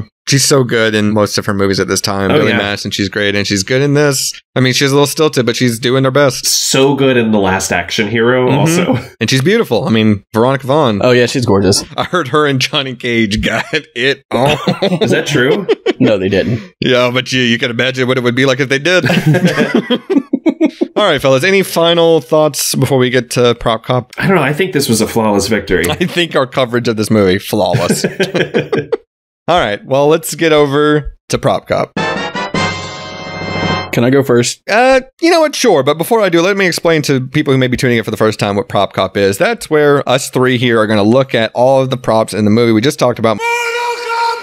and we're each going to pick one prop from the movie to hypothetically steal to own for ourselves. We're going to break the rules of the tournament and we're going to steal some of these items here. JT, what prop do you want from? I want the shield. Oh, the serrated shield. Yes. Yeah. I wrote that down as one of my options. Yeah. I'm going to go second and I want Raiden's Jedi robes Hell that yeah. he wears throughout most of this movie. Uh-huh. Good one. What do you want, Nathan? I really love uh, on the during the fight between uh, the quote unquote fight between Liu Kang and Kitana. Shang Tsung is sitting under a tent with the logo on it, but it's also like cut into the fabric, so it leaves the shadow of the dragon on the beach. I loved that. Yes. Yes. it rules. That's great. As a consolation prize, I also, uh, you know, if it gets cold, I want Shang Tsung's coat. Yeah. It's so rad. That was my very next one on my list. Hell yeah. I thought that leather jacket was so iconic. I wrote down as one of my also options is that electrified baton that that guy Johnny Cage fights in his movie Oh, scene. yeah. Uh-huh. I also have the uh, Uh, dragon ship The whole ship. That's a very Mallie pick. and uh, the frozen gun. All the frozen gun that gets broken in half. Yeah, that's good. Yeah. Well, we've already kind of briefly talked about it, but what about bit parts, which is where we're going to recast some low level characters in this movie, some non named extras as ourselves. I do want to go out and give a blanket one. Okay. I think the four of us, if you include Mallie, should be the guys that Johnny Cage fights in that movie scene. sure. The one I'm actually going to go with, and man, it was a tough choice between all of these, but I think I might want to be the PA who tells Johnny Cage, hey, someone that's here to see you on set. That's a good one. And he goes, Who is it? He goes, I don't know. He goes, You let somebody on set that you don't know who it is? I'm like, That's a good fucking point. It better not be a reporter. You go, Do you, want, me to find, out? that's a good. That's a good line. Yeah. so I think that'd be a good one. Nathan, who do you want to be? One of our shadow warriors at the Mm-hmm. end of the movie that Shang Tsung resurrects is played by Gerald Okamura, Mm-hmm. who is uh, a an absolute legend of martial arts movies. He was in Blade. He was in Big Trouble in Little China. Hell yeah. Shadow of the Dragon, Samurai Cop. Is he the guy with the little hand thingies? Yes. Okay. He's also the one who goes after Jack Burton with a hatchet. Yeah. in uh, Big Trouble in Little China. But he, whenever all of the souls are rising up at the end of the movie, he's like vibing the most. Yes, he might as well be in a hammock. Yes, he is. he's doing the wave and he's the only one doing it. It's so fucking funny. it's so good. JT, who do you want to be? I guess I'll be the uh, the guy that leads Liu Kang into the Sub Zero fight, That's really good. That was one of my options. and he just points and then just keeps walking. I love that moment. Yeah, this guy over here, you're gonna fight him. just just stand right there. Stand right here. He'll be there in a second. Quit asking so many fucking questions. Well, fellas, our work is cut out for us. Earthrealm is in trouble of being invaded by the Emperor himself. So uh, we have to come up with a silver lining for. Uh, I'll go ahead and go 1st Uh-huh. I'll say Liu Kang got real, honest to God closure. yeah. Like, not many times in movies that we cover do people that lose a loved one get to actually talk to those people and make amends, but he did. And he knows that his brother is in the afterlife waiting for him. Yeah. I thought that was genuinely a great silver lining. Nathan, what do you think? Mine was kind of along those lines. Liu's not blaming himself for his brother's death anymore. Mm. But if I need to go with a something slightly different, Raiden gets to act like this was all part of the plan.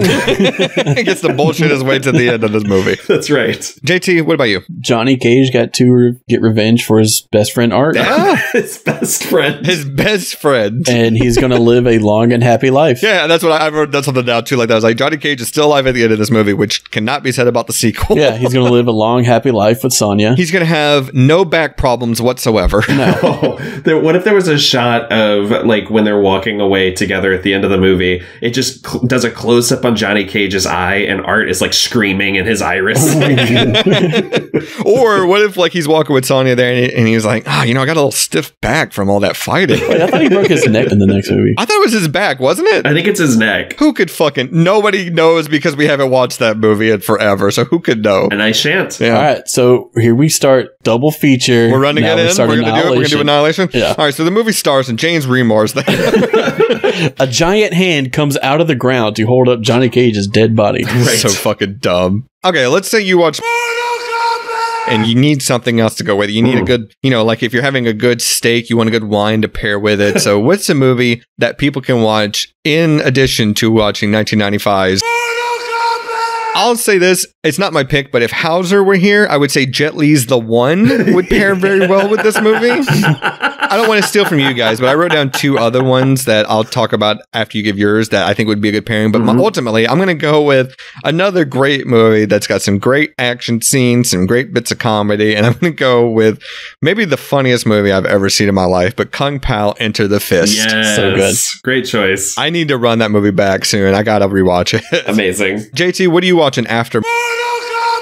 So if you're in the mood for video game movies, Mhm. go with Street Fighter. Yeah. I don't think it's as good. Nope. I don't think it's as iconic. Uh huh. It's campy and it's fun. Okay. That movie has some incredible jokes in it, though. It Yeah. has Raul Julia giving an, an amazing performance that the movie does not deserve. I know. But also, there's that great bit where they're watching the security cameras and like Guile is like heading straight for the bad guy's lair and Zangief says, quick, change the channel. One of the funniest jokes I've seen in any movie. He absolutely is amazing in that movie. I He's love him so much. He's great. Giving a great performance knowing that he won't be around much longer, too, Yeah. unfortunately, when that movie was being made. So sad. Yeah. But as a second choice, piggybacking off the Kung Pao would be Kung Fu Hustle. Oh, Yeah. great movie. Yeah. Nathan, what are you putting on? So I know you said uh, like a nice wine to pair with steak, and mine's more like if you followed steak with eating beef jerky. And, uh, Which I often do, by the way. oh, good. I went with another martial arts video game adaptation produced by Paul W. S. Anderson. Mm-hmm. 2006's DOA Dead or Alive. Wow. One of the dumbest films I've ever seen. I've never seen that movie. Eric Roberts plays the villain. Oh and my he uses sunglasses that teach him all martial arts. Okay, I know what I'm putting on tonight. Thank you for the recommendation. Score by Junkie XL, Oh, by the way. fuck. Dustin, do you know what DOA is? I know what it is, but Okay. that's why I never watched the movie. I was like, there's no fucking way they can make a movie out of that. But now my curiosity has been piqued. I mean, look, it stars Jaime Pressly, if that gives you an idea of how fun this movie is. Oh my god! Look, look, look! Listen, you had my interest, but now you got my curiosity. I'm fucking in. And also, uh, we talked about them earlier. These are the other two I was going to recommend. Mhm. Big Trouble in Little China Yes. would be a great pairing with this. Mhm. You got more hand-to-hand fighting, some more Asian mysticism, and Jack Burton is giving big Johnny Cage energy. Absolutely. I Yeah. mean, Johnny Cage has like a whole line about how like there's a guy shooting ice Yep. and another guy that's on fire and someone made of electricity. It's essentially Jack Burton being like, you know, this Lo Pan character Yep. waits for me to drive my truck straight through. Yeah. my favorite movie of all time. And uh, the other best '90s New Line Cinema movie, you got to go with TMNT Two: Secret of the Ooze. Yes. Great choice. Oh, I forgot to mention, have I ever told you that I interviewed the screenwriter of Big Trouble in Little China? No. W.D. Richter, we had him on the AIPT Comics podcast uh, a year or two ago, and he was befuddled when I told him that Big Trouble in Little China is my favorite movie. he, he was a really nice guy, but he was just sort of like, I literally said, like, my favorite film of all time, Big Trouble in Little China, and he goes, oh, God. That's a compliment if I've ever heard one. It's one of my favorite moments on the show. Ugh, all right. Well, one last bit of uh, business here, fellas. Do you recommend 1995's? yes. Fuck, yes. Yeah. I do recommend 1995's to anyone. I will say this: it doesn't hold up at all. No. No. But there is some genuinely cool stuff in here. I've talked about it already, but the soundtrack is fucking banging. The production design is actually pretty good at times. Mhm. Some of the performances are just so much fun to watch that it makes it, you know, well worth it. And there is still so much charm in 90s New Line Cinema movies. Like, this Uh-huh. is just my childhood. Uh, All the movies we talked about. Plus, this movie is very short. Yeah. Way shorter than our episode is going to be, apparently. Yeah. I think you nailed it last night. You texted Mallie and I. Happy to report. Still rips. Yeah. Not a good movie, but still great. yeah. Again, and I don't care that we have our nostalgia glasses on Mhm. and just looking at it through that. Mhm. I think that's the issue, but we can overlook all of that because of that reason. Mm-hmm. It is comfort food, man. It is. This is just cotton candy. It's like, oh, this is going to be great. And then it dissolves quickly in your mouth, but you're still Yeah. glad you went on the ride with it, you know? That's perfect. it's McDonald's chicken nuggets. It might make you feel bad, but like It might make you do that groan that Goro does when he gets punched in the balls. But, you know, that's uh, that's it. That's 1995's. If you want more of our show, you can always subscribe because we have new episodes drop every Monday while we're in season. We've still got a couple more to come. And you can also check out our back catalog where we have 170 plus episodes to listen to. Mm-hmm. Fucking, this is wild that we've been doing it this long. Why? If you haven't already, rate, subscribe, leave feedback wherever you're listening to us right now. You can also follow us on social media at Twitter and Instagram and TikTok, as well as over on our subreddit at reddit.com slash r slash silver linings playlist. Mm-hmm. You can email us at the silver linings playlist at gmail.com. Tell us uh, your favorite part about this movie. Uh, if you got some feedback about the show, you can also do it there. And yeah, I think that's it. Nathan, Yeah. next week, your pick. Right. And I'll go ahead and give a little clue myself. We have mentioned the movie we're talking about next week in this episode. That's right. But uh, you're going to give us a full blown clue for what we're talking about. So here we go. I have less of a clue and more of a question. I just want to know of our listeners, do you read Sutter Cane? I knew that was going to be it. oh, man. I can't wait to talk about next week's movie. it's going to be too, our man. Valentine's Day episode. Can you believe it? oh, perfect. It's for all the loving couples out there, too. Absolutely. Unlockable character JT Kelly, thank you for joining us at the last minute for this movie. Thank you for having me on something other than a Halloween movie. And you know what? It's a little spoiler, a little you know, a little peek into the future. You're going to be joining us for a non-Halloween movie too this season. I'm so excited for that episode. Cannot wait. So I guess we can say uh, rest in peace, oatmeal, Mhm. and Art Lean, Oh, man. Rest in power, Art Lean. rest in power. And uh, as always, give me one second. Hold on, I know what he's going to do. hold on.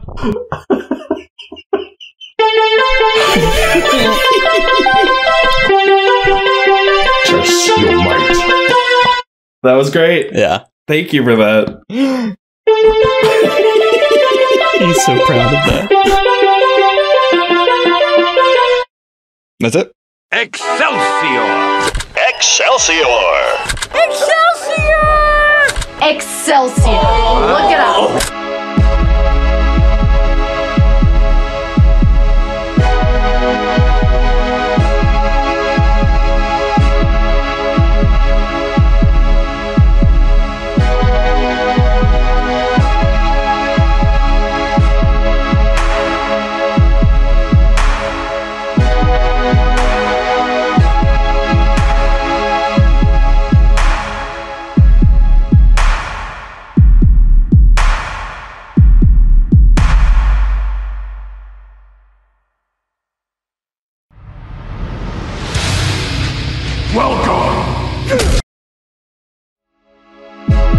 Hello, YouTube. If you've made it this far, thanks. Could you do us one more favor? Could you hit those like and subscribe buttons? Maybe leave us a comment on what you think of the show. We'd really appreciate it. Join us again next week for an all new episode.